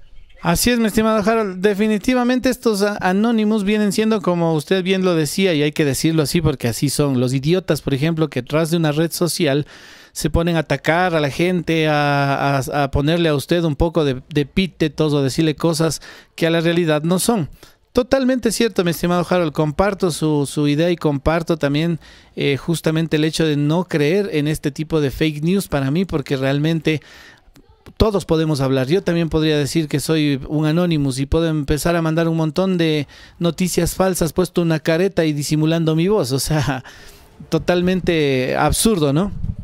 Sí, un poquito para concluir, Rayo Man, el tema. No crean en los faranduleros de la fake news. Hoy en día, y recordemos lo que decía Alexis Tocqueville, un periódico puede cambiar 10.000 mentes en una hora o en un día. Hoy en día, una persona idiotizada por fanatismos conspiranoicos puede idiotizar a millones de personas en segundos por internet. Entonces, uno de los mandamientos claves, Rayo Man, del periodismo es certificar la fuente.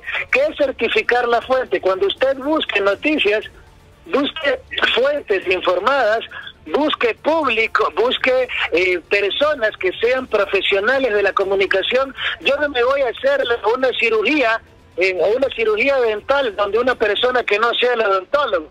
No me voy a hacer la cirugía donde el curandero. ¿Y por qué a la hora de informarse siempre elegimos este tipo de lugares, tipo Badabun, tipo que, que se dedican más a farándula y a la cosa de crónica roja. ¿Por qué elegimos noticias tipo Anonymous? Busquemos fuentes noticiosas, contrastemos. Certificar la fuente significa busque a alguien que sea de credibilidad. Contrastar, busque si hay varias personas. En pandemia matan cada semana a alguien, siempre sale una noticia rara, mezclan y descontextualizan. Entonces, no caigamos con estos faranduleros de la desinformación y busquemos noticias certificadas y profesionales.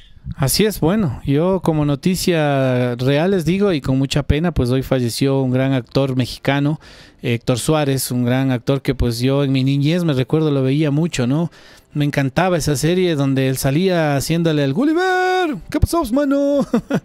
me recuerdo yo una persona, un actor, digamos, a carta cabal de muchas películas, novelas inclusive, y murió de cáncer a la vejiga. Qué pena, ¿no? Y a cierta edad, bueno, pues hay que tener mucho cuidado, hay que estar pendientes a esas, a esas señales cuando ya algo pasa en nuestro organismo, ¿no? Pues qué pena haber perdido a este gran actor en el mundo eh, del cine mexicano, Héctor Suárez. Algo decía Harold.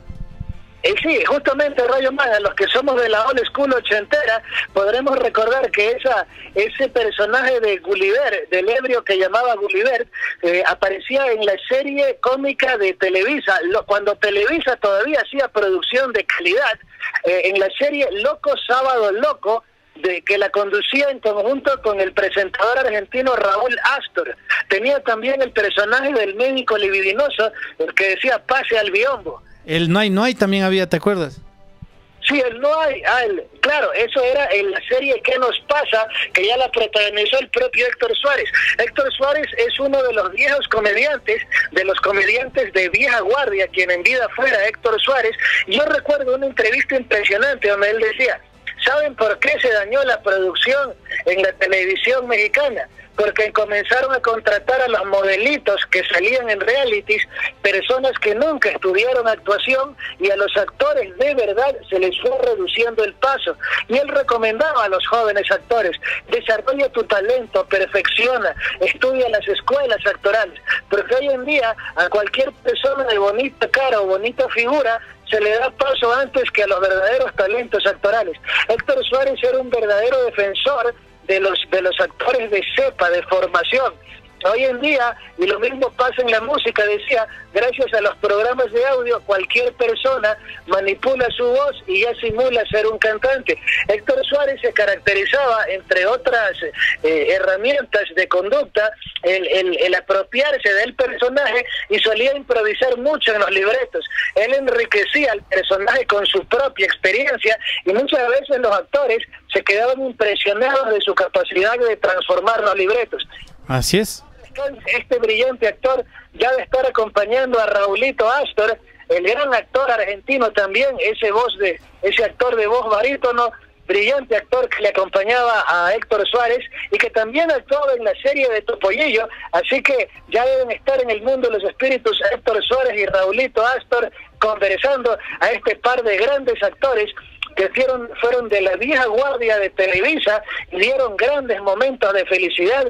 Yo recuerdo, era todos los sábados en el antiguo Gama Visión que se veía ese programa Loco Sábado Loco, donde también actuaba el difunto actor Eduardo Palomo, el famoso actor de la telenovela Corazón Salvaje, en la, en la saga de Batman y Robin, que hacían también su caracterización.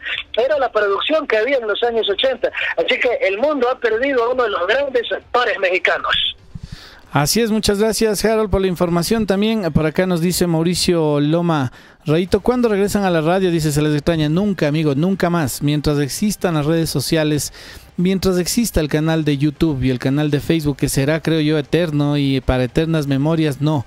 Nunca hay que decir esta agua no de beber, ¿no? Pero yo muy seguro les digo, a radios FM no vamos a volver nunca más, señoras y señores, nunca más. Ni a radios FM ni a canales de televisión básicamente se están fumigando ya los canales de televisión, ya están quebrando, están botando personal, próximamente liquidarán ya sus activos porque básicamente no existe ya forma de mantener un canal de televisión nacional y peor aún a veces ahora las radios inclusive, ¿no? No sé si han escuchado o visto, muchas radios están ya dejando de funcionar porque ya no hay recursos, así que esta es la nueva ola comunicacional del futuro o del presente y el futuro, señoras y señores. No, no va más únicamente a través de redes sociales. Vamos con este reportaje interesante de nuestro compañero Joan Balseca, el criminólogo Joan Balseca, y el tema data de muerte, en lo que nos ha preparado el día de hoy en este tema muy impresionante. Póngale mucha atención y continuamos ya con más de la programación aquí en las Puertas del Terror cuando son las 22 horas con 19 minutos. Estamos en vivo hoy martes 2 de junio de 2020.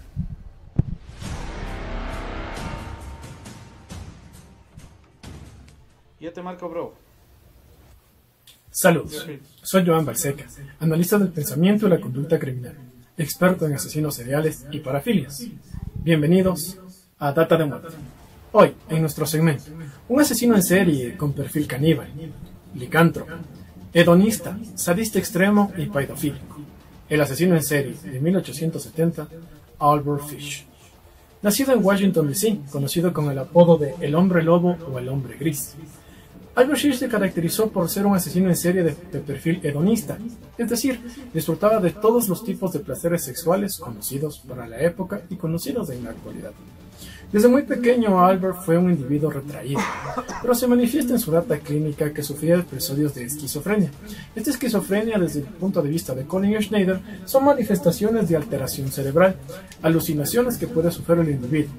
Estas alucinaciones que puede tener pueden estar cimentadas en fetichismos, como también pueden estar cimentadas en ideas que él tiene, sea de persecución o como en el caso de Albert, que había un demonio que le proveía que se transforme en un hombre lobo o un licántropo. Como podemos ver en la gráfica, es interesante analizar el perfil de Fish, un perfil de carácter esquizofrénico heredado. Tanto su madre como su tía padecieron de esquizofrenia. Cuando tuvo apenas 12 años, Albert Fish ya empezó a dar características parafílicas en su comportamiento. Una de ellas era la urofilia y la coprofilia. Dos características importantes que las vamos a esclarecer. La urofilia, la excitación sexual por olores que provienen de la orina. Y la coprofilia, excitación sexual por ingerir o oler heces fecales de seres humanos. Se manifiesta en data criminal que los primeros indicios que tienen de las parafilias de Fish fueron en baños públicos de la época, donde él entraba y se excitaba con olores. Como podemos ver en la gráfica, Albert Fish es un individuo de tipo biotipológicamente respiratorio. ¿Qué quiere decir? Este tipo de individuos son prominentes a delitos de carácter sexual. Su constitución antropométrica, como podemos ver en el rostro de Fish, es un individuo con un perfil respiratorio. ¿Qué quiere decir? Una nariz grande y pronunciada, unas orejas en forma de asa, orificios auriculares profundos, frente divisa y un mentón y pómulos pronunciados. En las características biotipológicas del delincuente nato mencionado en la escuela Fish es una característica predominante y sería un individuo predominante. ¿Qué más predominaba en la conducta criminal de Fish? Por ejemplo, al reconocerlo como un hombre lobo, hablamos de perfiles de esquizoides de licantropía. Se menciona que los perfiles de esquizoides de licantropía son aquellos que pueden transformar a un individuo, es decir, a cualquier ser biológicamente considerado, en un hombre lobo. No malinterpretemos las cosas. No es que Fish al ver la luna le salía cabello, o abundante pelo, o garras en las manos. No. Su conducta de licántropo tenía que ver con la pasión por consumir carne. Ahí viene su perfil, paidófilo, porque violó a más de 100 niños dentro de su data y asesinó a más de 10 dentro de su carrera. Puede decir, pero más que un asesino serial puede ser considerado como un violador serial. Lo que pasa es que en el caso de Fish empezó como un atacante paidofílico, es decir, de niños y niñas. Pero posteriormente, ese hedonismo del que hablábamos anteriormente, ese placer sexual que él sentía al cometer algún tipo de delito, es el que lo llevaría a cometer asesinatos. El masoquismo extremo era otra característica. Albert Fish le gustaba practicar masoquismo extremo, es decir, autoinfligirse dolor o que otros lo infligen. Su data criminal menciona que era apasionado de los látigos, también de los cortes, el denominado cutting en la actualidad. También, dentro de sus genitales solía poner clavos o alfileres, alteró su cadera para sentir más placer y diversas formas de masoquismo que hemos visto en otros asesinos seriales y que vemos como parafines. Dentro de la conducta de Fish con los niños representada en esta gráfica, era conocido como el hombre lobo, ya que cuando practicaba sus ritos sexuales y sus ritos de asesino en serie, él solía ver la luna, le gustaba bailar desnudo frente a los cuerpos mutilados y decía que la luna le proveía a él de poderes místicos que básicamente un demonio se, apoderaba de sus características tanto biológicas como psíquico-mentales y procedía a matar a estos niños. Una de sus víctimas, que fue la que más llamó la atención, desapareció a muy corta edad. Con 10 años la víctima más famosa de Albert Fish, que podemos ver en la gráfica, fue por quien la policía dio con tantos y varios atroces delitos cometidos por él. Su víctima en primera instancia fue secuestrado. Era conocido como el hombre gris por el traje que utilizaba. Este traje con el que se acercaba a estas pequeñas, al ver un anciano, veía un anciano inocente, que era la característica del acercamiento de Fish, sin darse cuenta que realmente era un lobo disfrazado de oveja. Una de sus víctimas que fue encontrada fue encontrada gracias a una carta, una carta que Albert Fish escribió a la policía y remitiría posteriormente a la madre de la víctima. A pesar de que en la foto le ven como una persona ya adulta, apenas tenía 10 años en esa época. Es decir, violentaba a niños con características biotipológicamente de adultez, pero que en su edad cronológica tenía apenas 10 años. Bueno, en el caso de esta víctima mandó una carta a la policía mencionando cómo preparó a su víctima, es decir, cómo la cocinó y posteriormente se la comió. La característica de antropofagia o canibalismo, como se conoce vulgarmente, esa pasión de asesinos seriales, como en el caso de Fish, por ingerir carne humana. Parece atroz, pero en realidad es una parte de la conducta criminal. Recordemos que Albert Fish, como vemos en la gráfica, ¿Era un individuo de escasos recursos? No. Más bien era un individuo de la alta sociedad y que posteriormente se sentaría en Nueva York, que es donde cumpliría su condena. La condena la cumpliría en la cárcel de Sin Sin. La condena por el asesinato de la víctima que hemos mencionado, de quien ingirió su carne humana. ¿Cómo lograron dar con el paradero de Fish? Albert Fish, como todo individuo, o todo asesino serial, tiene su característica de egolatría y megalomanía. Escribió una carta a la policía con remitente a su madre, donde mencionaba características como, sí, yo descuartecé a su hija. Posteriormente la violé, lo que da un análisis de un perfil también necrofílico en la parafilia de Fish. Me gustan todos los placeres. Disfruto con el dolor. Me gusta comer las nalguitas de los niños bien fritas en una sartén y bailar sobre sus cuerpos cuando hay luna llena. Me gusta también bañarme con su sangre para sentirme cada vez más joven. Soy un almirante, mencionaba Fish, un almirante retirado, quien mató a su hija. Esta carta mandó a la policía y también mandó a la madre de la pequeña víctima. Lo que Fish nunca se dio cuenta es que él tenía grandes y graves faltas ortográficas, propias de la dislexia que parecía y propias también del rango esquizofrénico que tenía. Recordemos que en la esquizofrenia lo primero que se pierde es el sentido del oído y posteriormente el sentido de la vista. Es decir, la persona primero empieza a escuchar voces en su cabeza y después tendrá las alucinaciones. Alucinaciones como posesiones demoníacas, alucinaciones de fantasmas y demás. Albert Fish fue condenado en la cárcel de Sin Sin a morir mediante silla eléctrica. Esta característica penológica de, de los años 1938 donde murió en Nueva York en la cárcel de Sin. De hecho, para los amantes de la música hay una canción de un músico popular colombiano, conocido como Alci Acosta, que habla de la cárcel de Sin, es decir, la cárcel del canta, canta. Albert Fish murió en la silla eléctrica y sus últimas palabras que pronunció y en su última voluntad mencionó, por fin voy a sentir los verdaderos placeres del dolor. Benditos quienes me condenaron en la silla eléctrica porque me harán sentir el dolor que hacía sentir a mí. Hoy, en Data de Muerte, Albert Fish, el hombre lobo o el hombre gris, también conocido como el Boogeyman. Síguenos. Para más entrevistas y análisis de estudio criminológico en Criminología, la ciencia del todo en Facebook. No te olvides de visitar nuestra página, darle likes y dejarnos nuestros comentarios. Da clic a la campanita de las puertas del terror y suscríbete. Saludos. Muchísimas gracias a nuestro gran amigo Joan Balseca, el criminólogo, cienciólogo. Qué interesante información y a la vez pues qué terrible, ¿no? Saber que estos eh, criminales tengan estas patologías con este tipo de pensamiento y forma de actuar, pues de una forma, digamos, tan perjudicial para los mismos seres humanos y sobre todo para los niños, ¿no? Qué pena, espero que esto sea pues únicamente una forma de escuchar algo que ha pasado eh, o que fue ya parte del pasado y que no será nunca más ningún presente y peor un futuro. Hay que eh, controlar mucho y cuidar mucho a los niños.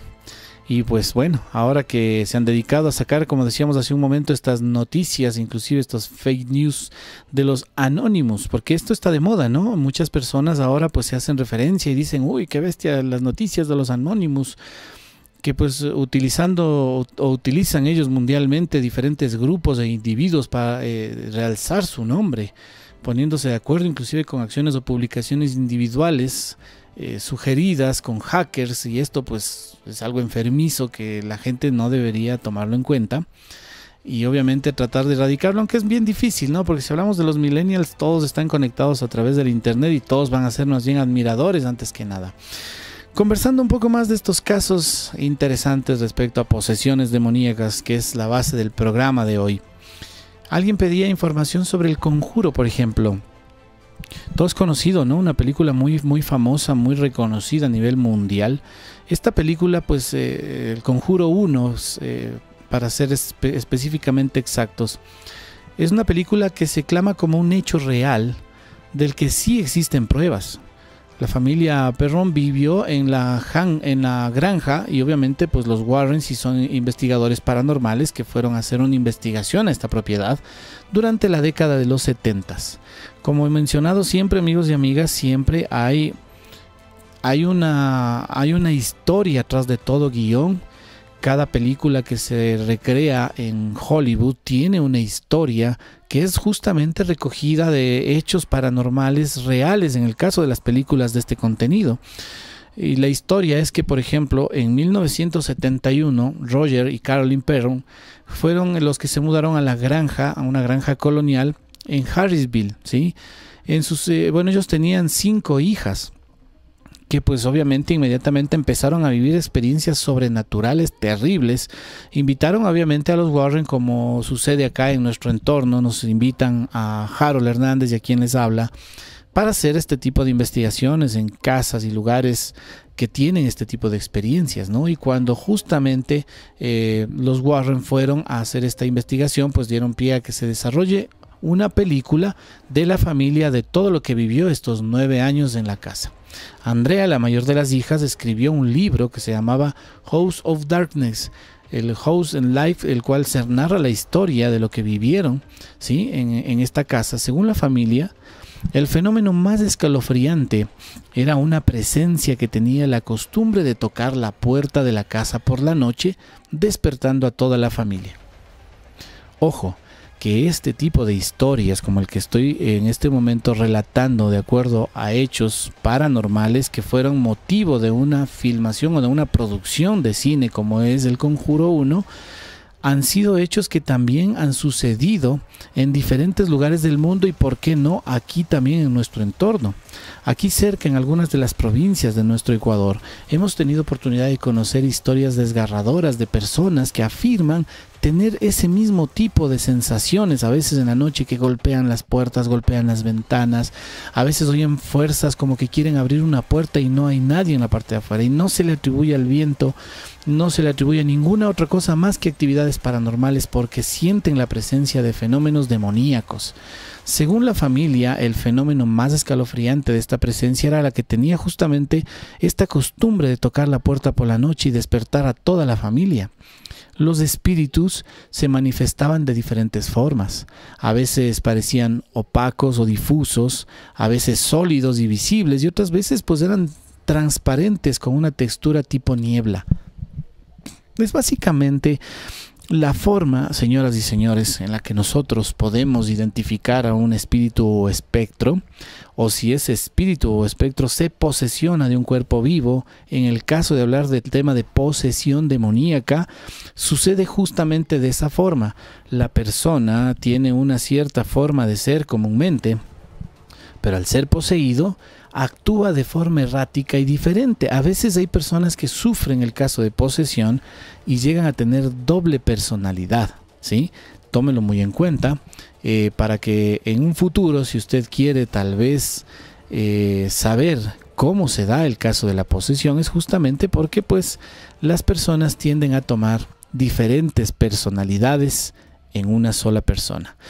Cindy, la más pequeña de las hermanas del caso del conjuro, cuenta que un espíritu habló con ella. Y pues a ella lo describe a este espíritu como estar dentro de una burbuja. Cosas interesantes como la aparición más poderosa eh, que quería el control sobre Caroline. La madre eh, estaba empeñada en sacarla de la casa, pues ella quería, eh, quería a Roger y a las cinco hijas. Según la leyenda local, eh, que era la sospechosa de ser la bruja, fue acusada de sacrificar a un niño como una ofrenda al diablo. ¿no? Esto asociando con los casos reales que se vivieron respecto a este guion del conjuro, aquí también en nuestro entorno, en nuestro país, inclusive y en sitios conocidos, han habido muchas personas que a veces pues se les ha ido un poco las luces como se dice, ¿no? Y han terminado haciendo este tipo de sacrificios en nombre del demonio, en nombre de Don Sata, como le digo yo. Y pues de esta forma piensan eh, algunos tener vida eterna, ¿no? Qué grotesco y qué desesperante ver la forma en la que actúan algunas personas al hacer un sacrificio diabólico para poder ofrecer la vida de uno de sus seres queridos a cambio de vida eterna tal vez. Y esta bruja se supone ofreció como ofrenda al diablo más de dos docenas de muertes misteriosas que ocurrieron en la propiedad mientras ella vivía ahí. Bathsheba eh, vivió una vida miserable y murió de anciana en el año 1885. Esa es la real bruja que fue, digamos, de la vida real, de quien se sacó el personaje para la película.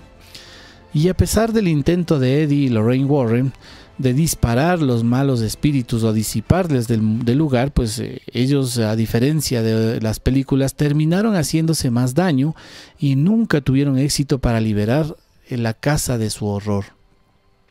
La familia pues eh, se quedó en esta propiedad durante unos 10 años eh, antes de finalmente salir, siendo exorcizados y finalmente liberados de la terrible experiencia.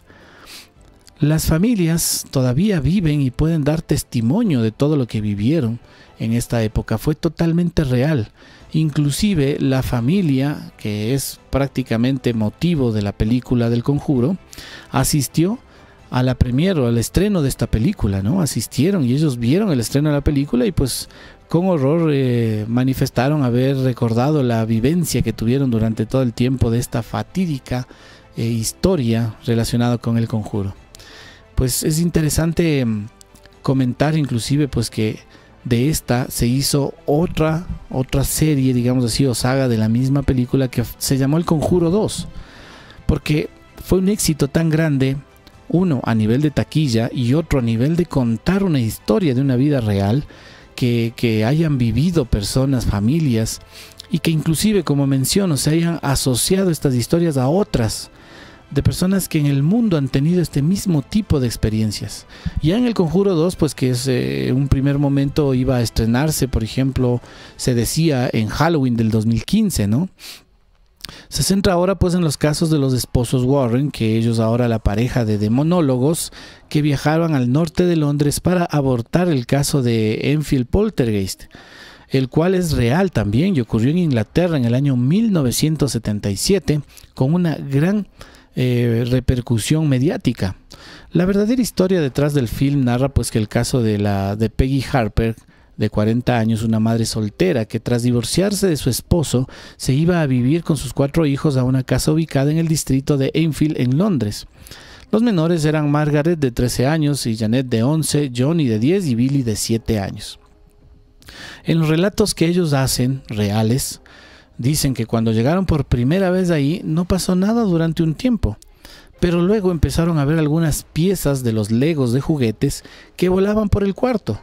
Y el más extraordinario fue cuando recogió también, pues, eh, eh, o cuando estaban calientes, dice Janet, contó que era como que se estaban quemando. Hubo testigos de esto cuando los oficiales llegaban, cuando llamaban a la policía. Llegaron oficiales un 31 de agosto del año 1977 Tampoco encontraron a nadie, pero fueron testigos de los golpes que se escuchaban en las paredes. Los vecinos que vivían al costado de la familia también presenciaron hechos inexplicables. ¿sí? Estos fueron pues eh, publicados a través de los diferentes diarios locales y, y obviamente fue motivo de investigación para todos quienes posterior a esto lograron hacer lo que se llama el guion de esta famosa película El Conjuro. Y pues bueno, al hablar de, que la familia, obviamente, pues decidió también eh, llamar al doctor Daily Mirror, que fue el que envió un redactor, que fue eh, George Flowers, y el fotógrafo Graham Morris, que cubrieron lo sucedido, como ambos también fueron acosados por eh, los entes, decidieron poner en la portada la noticia un 10 de septiembre de 1977 titulando la nota La Casa de los extraños sucesos. Tras la violenta reacción que mostraba Janet como tener una voz ronca y asegurando de que su nombre era Joe Watson, provocó que el redactor de Daily Mirror se contactara con la Sociedad para la Investigación Psíquica. Es una organización fundada en 1882 que aborda casos psíquicos y paranormales. Los Warren al rescate, Finalmente, pues los esposos Eddie y Lorraine Warren pudieron resolver el caso en el año 1979, en abril de 1979, expirando pues eh, el demonio que habitaba en Janet Hudson, en el caso del Enfield Poltergeist, que también fue comentado hasta que se hicieron estos documentales. Pues importante decir que todo todo lo que nosotros vemos en un entorno, todo lo que tenemos de conocimientos respecto a este tema viene pues básicamente de la de la vida real, de la historia real, de lo que realmente sucede en nuestro entorno, ¿no? Tenemos que tomar en cuenta que si nosotros tomamos un testimonio de personas que afirman tener este tipo de, contactos o, o, de problemas, digamos así, paranormales, pues de ahí podemos tomar la idea básicamente para hacer una película y en nuestro entorno estamos analizando la posibilidad, amigos y amigas, de conseguir justamente testimonios para realizar nuestra propia película o cortometraje realizado pues netamente en Ecuador con actores naturales o, reales.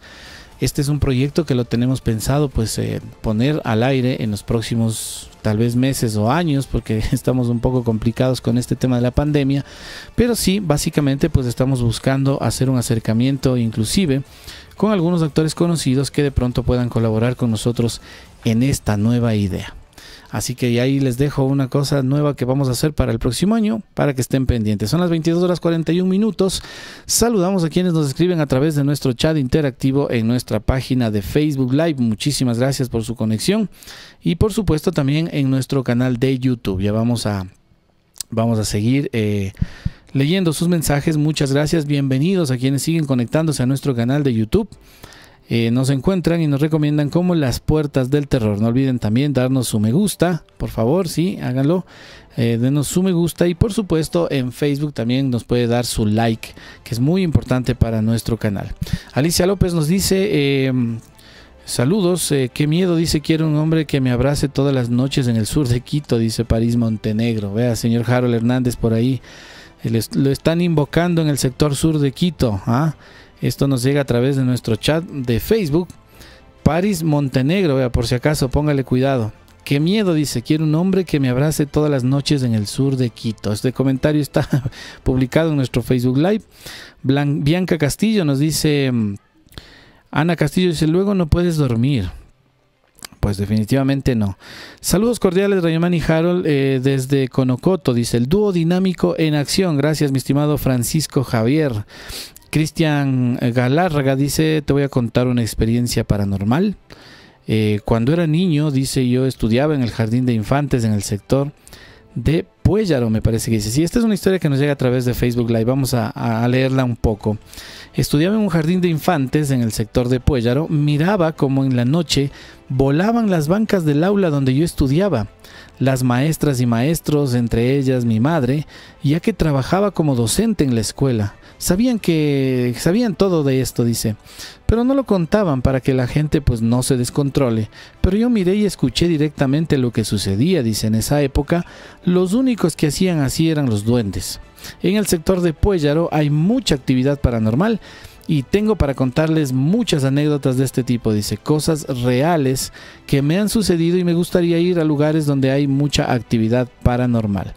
Bueno, mi estimado Diego Romero, pilas ahí, pues si investigamos alguna locación interesante a la cual podamos acudir en el sector de Puellaro, sería muy, muy interesante. Diego Chapaca nos saluda desde Carcelén. Leslie Cano también nos envía saludos, muy buen tema el que están tratando hoy. Carlos Esteban Navaecito dice también lo está viendo. Mi estimado Harold, en tu caso, ¿qué nos puedes hablar tú de los investigadores, de los famosos Warren, que fueron los que hicieron la investigación para sacar el guion de las películas del Conjuro 1 y 2? Bueno, efectivamente los Warren han hecho trayectoria en el tema de la investigación paranormal, han creado museos y este han sabido sacarle provecho al tema industrial del mundo hollywoodense. Entonces, gracias a sus a sus investigaciones lograron crear museos de lo paranormal e hicieron una industria turística y farandulera del mundo de lo paranormal, porque en países de alto consumo como en Estados Unidos, carente de mitos, el espectáculo hollywoodense y el culto a lo paranormal son formas de conectarse con lo sagrado. Así es. En este caso, pues hablando justamente, pues mi estimado Harold, de que si ellos pudieron hacer esto por, eh, por allá, nosotros acá, pues divinamente podemos concluir con nuestro proyecto de realizar nuestra película, ¿no? Nuestra película, eh, digamos, un cortometraje en el cual pues se tomará en cuenta a muchos eh, amigos, inclusive comunes y silvestres, digamos así, ¿no? A las personas que básicamente pues están en nuestro entorno, en nuestro círculo cercano, a quienes eh, podríamos involucrar en este proyecto de realizar una película de terror y que pues básicamente sería eh, aparte de protagonizada por actores reales o, o, gente que ha vivido esta experiencia, obviamente pues tendríamos la oportunidad de tal vez llevarlo inclusive al cine internacional. Este es un proyecto amigos que estamos pendientes de realizarlo, espero que Dios quiera y se cristalice en este año 2021. Vamos a saludar rápidamente a quienes nos están escribiendo en este momento a través de nuestro canal de YouTube. Gracias, pongo el chat en pantalla y nos escribe desde eh, Panamá Entretenimiento. Dice saludos desde Panamá. Trabajo en un hospital. Una vez estaba de turno cuando de pronto mis compañeras sintieron como que les jalaban la, la bata, dice. Se dice que hay el espíritu de una niña muerta. Gracias amigos desde Panamá, Panamá Entretenimiento, miren ahí están en sintonía y nos están escribiendo justamente esta historia. Amigos de Panamá, un abrazo, bendiciones y espero nos cuenten un poco más de sus experiencias. Patricio Fernández nos dice buenos días Rayomán. Yo trabajaba en el Enfield Town aquí en Londres. Pero no me sabía, dices historia. Saludos desde Londres. Muchas gracias, mi estimado Patricio Fernández. En Londres, un saludo especial. Ya es buenos días allá. David González nos dice saludos desde Blanchard, Oklahoma, desde donde, desde donde transmites, amigo, nos pregunta David González. Vea, vea mi, mi, estimado Harold, crece mucho la sintonía en sitios como Estados Unidos. Muchas gracias, Davidcito González, un saludo especial. Te comento que transmitimos desde un lugar pequeñito lleno de historia y con muchos parajes hermosos que vienen a conocer de diferentes lugares del mundo. De un lugar llamado Ecuador y de una ciudad que es la capital llamada Quito. Desde ahí transmitimos Quito, Ecuador para todo el mundo. Somos investigadores paranormales de Ecuador, ¿sí? A, Ecuador lo conocen mucho porque se habla de la línea equinoccial o paralelo cero, ¿no? Siempre dicen el Ecuador, la línea equinoccial, pero este es un lindo país llamado Ecuador. Saludos también entonces a quienes nos eh, felicitan, dice excelente sus proyectos, les eh, envío mucho muchos saludos y mucha vida a su programa. Por acá nos envían un saludo, dice Ley, los saluda desde Uruguay. Qué gusto, gracias amigos de Uruguay, eh, su sintonía. Ley, no sé si ese es tu nombre, pues o tu seudónimo, pero con todo muchísimas gracias por hacerte presente a través de nuestro programa. Felina nos dice Rayo, dos preguntas. ¿Es cierto que los psiquiatras pueden robar tu alma? Y la otra pregunta, si roban tu alma, ¿pueden poseer tu cuerpo con otra alma? Una pregunta muy capciosa, ¿no? Vladimir Pacheco nos dice, ¿qué tal rayo podría exponer la historia del viajero en el tiempo que tiene que construir las pirámides? Saludos, dice. Eren Alexander nos envía saludos, rayo y éxitos. Bueno, respondamos esta pregunta, Harold, tú que tienes ese conocimiento grande con el tema de los, de los eh, famosos, digamos, eh, eh, psiquiatras, como dice aquí. ¿Es posible que te puedan robar el alma? Bueno, eso son supersticiones, creencias populares. De hecho, les cuento, muchos chamanes y personas estudiosas de tradiciones antiguas eh, solían tener miedo de tomarse fotos porque pensaban que se les robó el alma. Pero eso son ya cosas que rayan en la superstición, en la creencia sin sentido, y hay que tener en cuenta, un psiquiatra es un médico que se especializó en patologías de la mente y en tal virtud está capacitado para recetar medicamentos para distintas patologías, psicosis, esquizofrenia, etcétera. Y nada más, su oficio es simplemente terapizar y ayudar a los pacientes. Si lo hace bien, los resultados son positivos. Pero de ahí a que alguien te robe el alma, ahora, si lo estás hablando metafóricamente, claro, un mal psiquiatra puede deteriorar a la persona con malas prescripciones médicas. Y eh, entiendo que para eso las facultades forman para que tengan nivel profesional. De hecho, hoy en día la psicología ha evolucionado más a una visión y la psiquiatría también apunta a lo mismo, para no tratar al paciente como un consumidor de medicamentos, sino como un espíritu en busca de soluciones a sus problemas de la vida. Recordemos que el paradigma de la psiquiatría y de la salud mental comenzó cuando el brillante doctor Philippe Pinel mejoró, mejoró los protocolos clínicos para los pacientes internados en un hospital psiquiátrico. Así es, muchas gracias. Saludos entonces a quienes nos están sintonizando en nuestro Facebook Live y por supuesto también en nuestro canal de YouTube. Estamos transmitiendo con esta transmisión simultánea en los dos canales, así que pues ahí tenemos para todos. Gustavo Adolfo nos dice por ahí saludos, muchas gracias. Estoy viendo, dice mi hijo, ¿y tú? Interesante, dice el programa. Muchas gracias. Ok, Carlitos Esteban también está viendo nuestra programación. Acá nos envían saludos desde Carcelén, Diego Chapaca éxitos al programa. Vamos a refrescar un poco el chat de nuestro canal de Facebook Live, por supuesto, para dar a conocer algunas de las personas que nos escriben en este instante, así como nos eh, envían sus mensajes, sus saludos a través de nuestro chat del canal de YouTube. Ok, eh, ya son las 22 horas con 49 minutos en vivo desde la parte del Ecuador Central. Gustavo Adolfo dice de ley, ok, ahí están enviando varios saludos, entre ellos Mayu, Mayu Barcelonista, dice saludos. A ver, yo escuchaba el terror llama a tu puerta cada jueves, dice, lo dejé de escuchar eh, porque siempre tipo 12 de la noche empezaba a escuchar ruidos donde solo estaba con mi mamá. Dejé de escuchar por varios meses, me traumé, dice, me encantan sus programas, soy una fan y he pasado ya cosas fuertes paranormales que nunca encontré explicación, nos dice Bayu Barcelonista. Sí, cuando estábamos en nuestra estación de radio, pues ahí estábamos con ese programa que, con el nombre invertido, porque ahora como es Las Puertas del Terror, antes era el terror, llama tu puerta. Saludos desde Quito, buen tema Rayoman, muchas gracias mi querido Alexis. Eh, ¿Qué tal Rayo? Saludos desde la Magdalena, bendiciones, nos dicen eh, por acá. Loquiño dice, ok. Saludos Rayoman, Deikir Alexis, gracias. Saludos desde Guayabamba, Lucas. Buen programa, nos dice Lucas desde Guayabamba. Alicia López. Le enviamos un saludito por ahí, es una de las ganadoras de un jarrito, por supuesto, cierto, el jarro que sorteamos el jueves pasado, hoy lo entregué a la ganadora, eh, que es eh, María Eugenia Rodríguez, me parece que es el apellido, sí. Así que pues esperemos que por favor nuestra mi querida María, María José Chávez, perdón, María José Chávez es la ganadora. Espero por favor mi estimada amiga nos hagas llegar la fotografía del jarrito. Justamente este jarro fue un jarro mágico que se ganó nuestra amiga eh, gracias también a marcas y diseño publicidad. Ellos están auspiciando con nosotros también y por supuesto son quienes están fabricando la mayoría de productos de nuestra tienda virtual. Así que pilas por favor en la parte final de la programación damos información muy interesante. Posiciones demoníacas y brujería. Esto va de la mano, dice, ¿no? Por ejemplo, en el siglo XVII algunos casos de supuesta posesión demoníaca fueron atribuidos a brujas y sobre todo a brujos. Oiga, Harold, en la época actual eh, que conocemos, ¿todavía existen las brujas? Bueno, ah, eh, sí, Existen las brujas, pero vamos aclarando en la concepción. Lo que de lo que se habla son mujeres dedicadas a la magia y cultos ancestrales. Es decir, existen religiones basadas en el druidismo. Lo más moderno de ese sentido sería la magia wicana.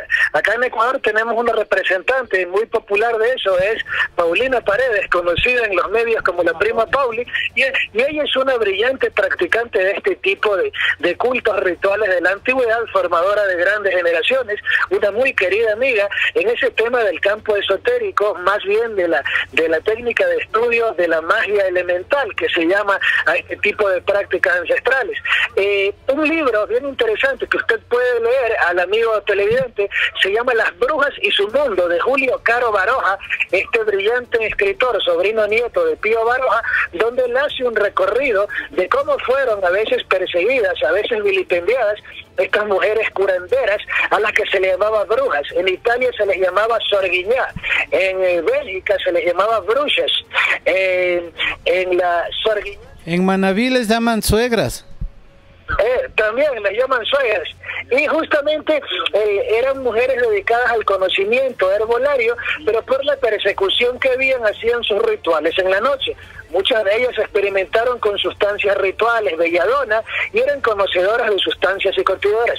Penosamente en la época medieval, cuando al curandero se le moría el paciente o si se extendía una peste como la peste negra, la peste bubónica, eh, básicamente había que culpar a alguien y linchaban a la, entre comillas, bruja. Entonces la historia fue evolucionando y hoy en día las constituciones de la mayoría de países favorecen la libertad de cultos y felizmente cada uno elige la religión o el modo de vida en el que crea ser feliz. Pero en el siglo XVII, el método que se creía se utilizaba era la entrega de un objeto cotidiano a una persona que quedaba así pues endemoniada, poseída por el demonio de una forma física.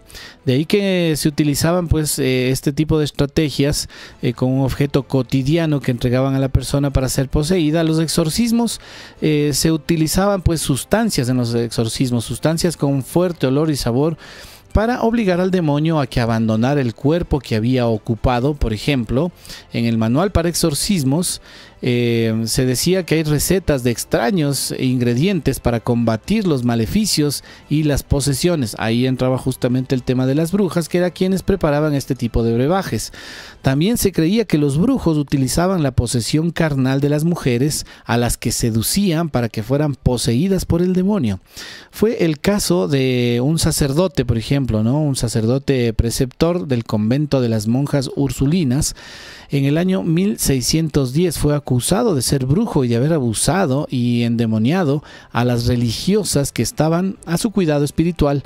Más famoso fue el caso también de las endemoniadas de Loudun, eh, que pues el joven sacerdote urbano Grandier fue acusado por la superiora del convento de Loudun eh, de haber endemoniado a todas sus monjas siendo pues quemado en la hoguera y este siendo también un caso similar que tuvo lugar en un convento de San Plácido en Madrid, en el que su director espiritual, el fray Francisco García Calderón, fue denunciado y condenado por la Inquisición española por haber seducido y haber endemoniado a las monjas y también por ser, eh, por ser alumbrado estas últimas... Eh, eh, digamos, afirmaron de que sufriendo diversas penas y la superiora del convento de Teresa Valle de la Cerda también pues pidió la revisión de su caso, ¿no? Esto pues confesó que fue poseída por un demonio llamado peregrino y que pues hasta 25 monjas más habrían estado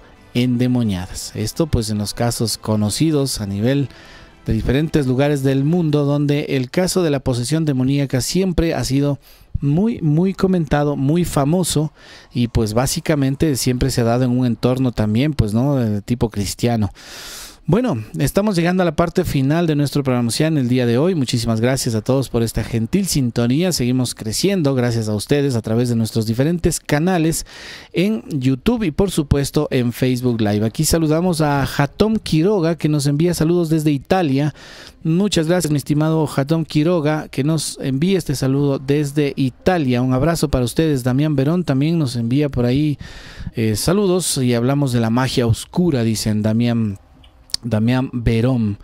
Edison Javier Córdoba también nos está escribiendo acá. Jorge nos dice saludos eh, desde Michoacán. Dice, hace poco vi pasar a un lado de mi cuarto una aberrana, dice. Mi hermana dicen que hacía brujería. Tengo testigos. A ver, tengo incertidumbre, dice. ok, saludos a los amigos entonces que nos eh, saludan desde México. Jorge Jero, saludos desde allá, ok, ya no sé. Verónica Morales nos dice buenas noches, ¿podrían hablar algo acerca del fantasma de Guápulo? Vamos a investigar sobre el tema, mi estimada amiga. El jueves estaremos hablando un poquito más de estos y otros temas interesantes que siempre presentamos a ustedes en este programa. Mi estimado Harold, gracias por haberse conectado con nosotros como siempre y brindarnos toda esta genial información que el público siempre está ávida de saber. Rayo Man. Les recordamos que el jueves estaremos como siempre a las 21 horas con la información paranormal. Este sábado estaré también dando un curso sobre acupuntura Tung, un estilo muy moderno y muy perfeccionado de la acupuntura vía Zoom. A quienes tengan interés, este curso está a un costo de 5 dólares. Se pueden comunicar a mi número de teléfono 098 061 5824. Eso estará eh, realizándose el día sábado en horas de la mañana y estaremos dándole cobertura educativa al tema de la acupuntura TUN y la fitoterapia el día sábado a las 9 de la mañana. Y ya se pueden comunicar a mi número de WhatsApp. Y también para los interesados en el tema de criminología pueden comunicarse con Joan Balseca justamente para este tema interesantísimo de eh, las parafilias y de todas las perversiones y delitos sexuales. A esa se pueden comunicar al 098-388-7737 con el doctor Joan Manseca. Por mi parte ha sido todo. Muchísimas gracias Rayo Man. Que el buen Dios les bendiga y si así lo permite nos vemos el jueves a las 21 horas aquí en las puertas del terror con Rayo Man y Harold Hernández. Muchísimas gracias entonces por sus conexiones. Gracias, Harold. Un abrazo, descanse y ya estaremos en contacto en estos días. Por ahí Starling David dice, ¿saben de alguien que ha querido mm, encerrar al espíritu de la llorona? Por ahí Damián Verón dice la del espejo. ok. Bueno, muchísimas gracias a todos entonces por esta conexión en este día martes. sin duda les esperamos este jueves a partir de las 21 horas en punto para continuar con la segunda parte, digamos ya de este tema, hablando de los casos de exorcismo, ¿sí? A quienes han sido poseídos por el demonio y quienes han sido exorcizados con éxito e inclusive como les comentábamos también casos cercanos acá en nuestra en nuestro país en Ecuador y cercanos justamente a algunas provincias acá en nuestro país. Así que muchísimas gracias a ustedes por su gentil sintonía. Si Dios no dispone otra cosa entonces nos veremos este jueves 21 horas en punto. Saludos a todos gracias por conectarse y por ser parte activa de nuestro programa. No se olvide de dar me gusta a quienes han visto el video hoy aquí en YouTube. Póngale me gusta póngale me gusta antes de irnos, póngale me gusta. Ah, claro, estamos ahora, llegamos como 350 conectados aquí en YouTube. Póngale me gusta amigos en Facebook Live también, por supuesto, los 275 que estuvimos conectados también. Póngale su like, comparta nuestra programación, por supuesto, y es importante decirles que mientras ustedes más compartan la transmisión, pues seguiremos llegando con más fuerza a todo el mundo. Mi nombre, ya lo sabe, y mi ID Rayoman. Rayoman les dice hasta la próxima. Que Dios les bendiga a todos, cuídense mucho. El jueves estamos en contacto nuevamente. Hasta el jueves.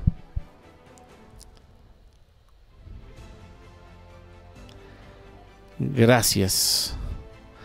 Gracias, gracias a todos. Sí, por acá tuvimos un pequeño inconveniente con la señal al final, un cortecito. Así que nos estábamos recién despidiendo. Muchas gracias a todos por su gentil sintonía. Estamos el jueves a las 21 horas. Gracias.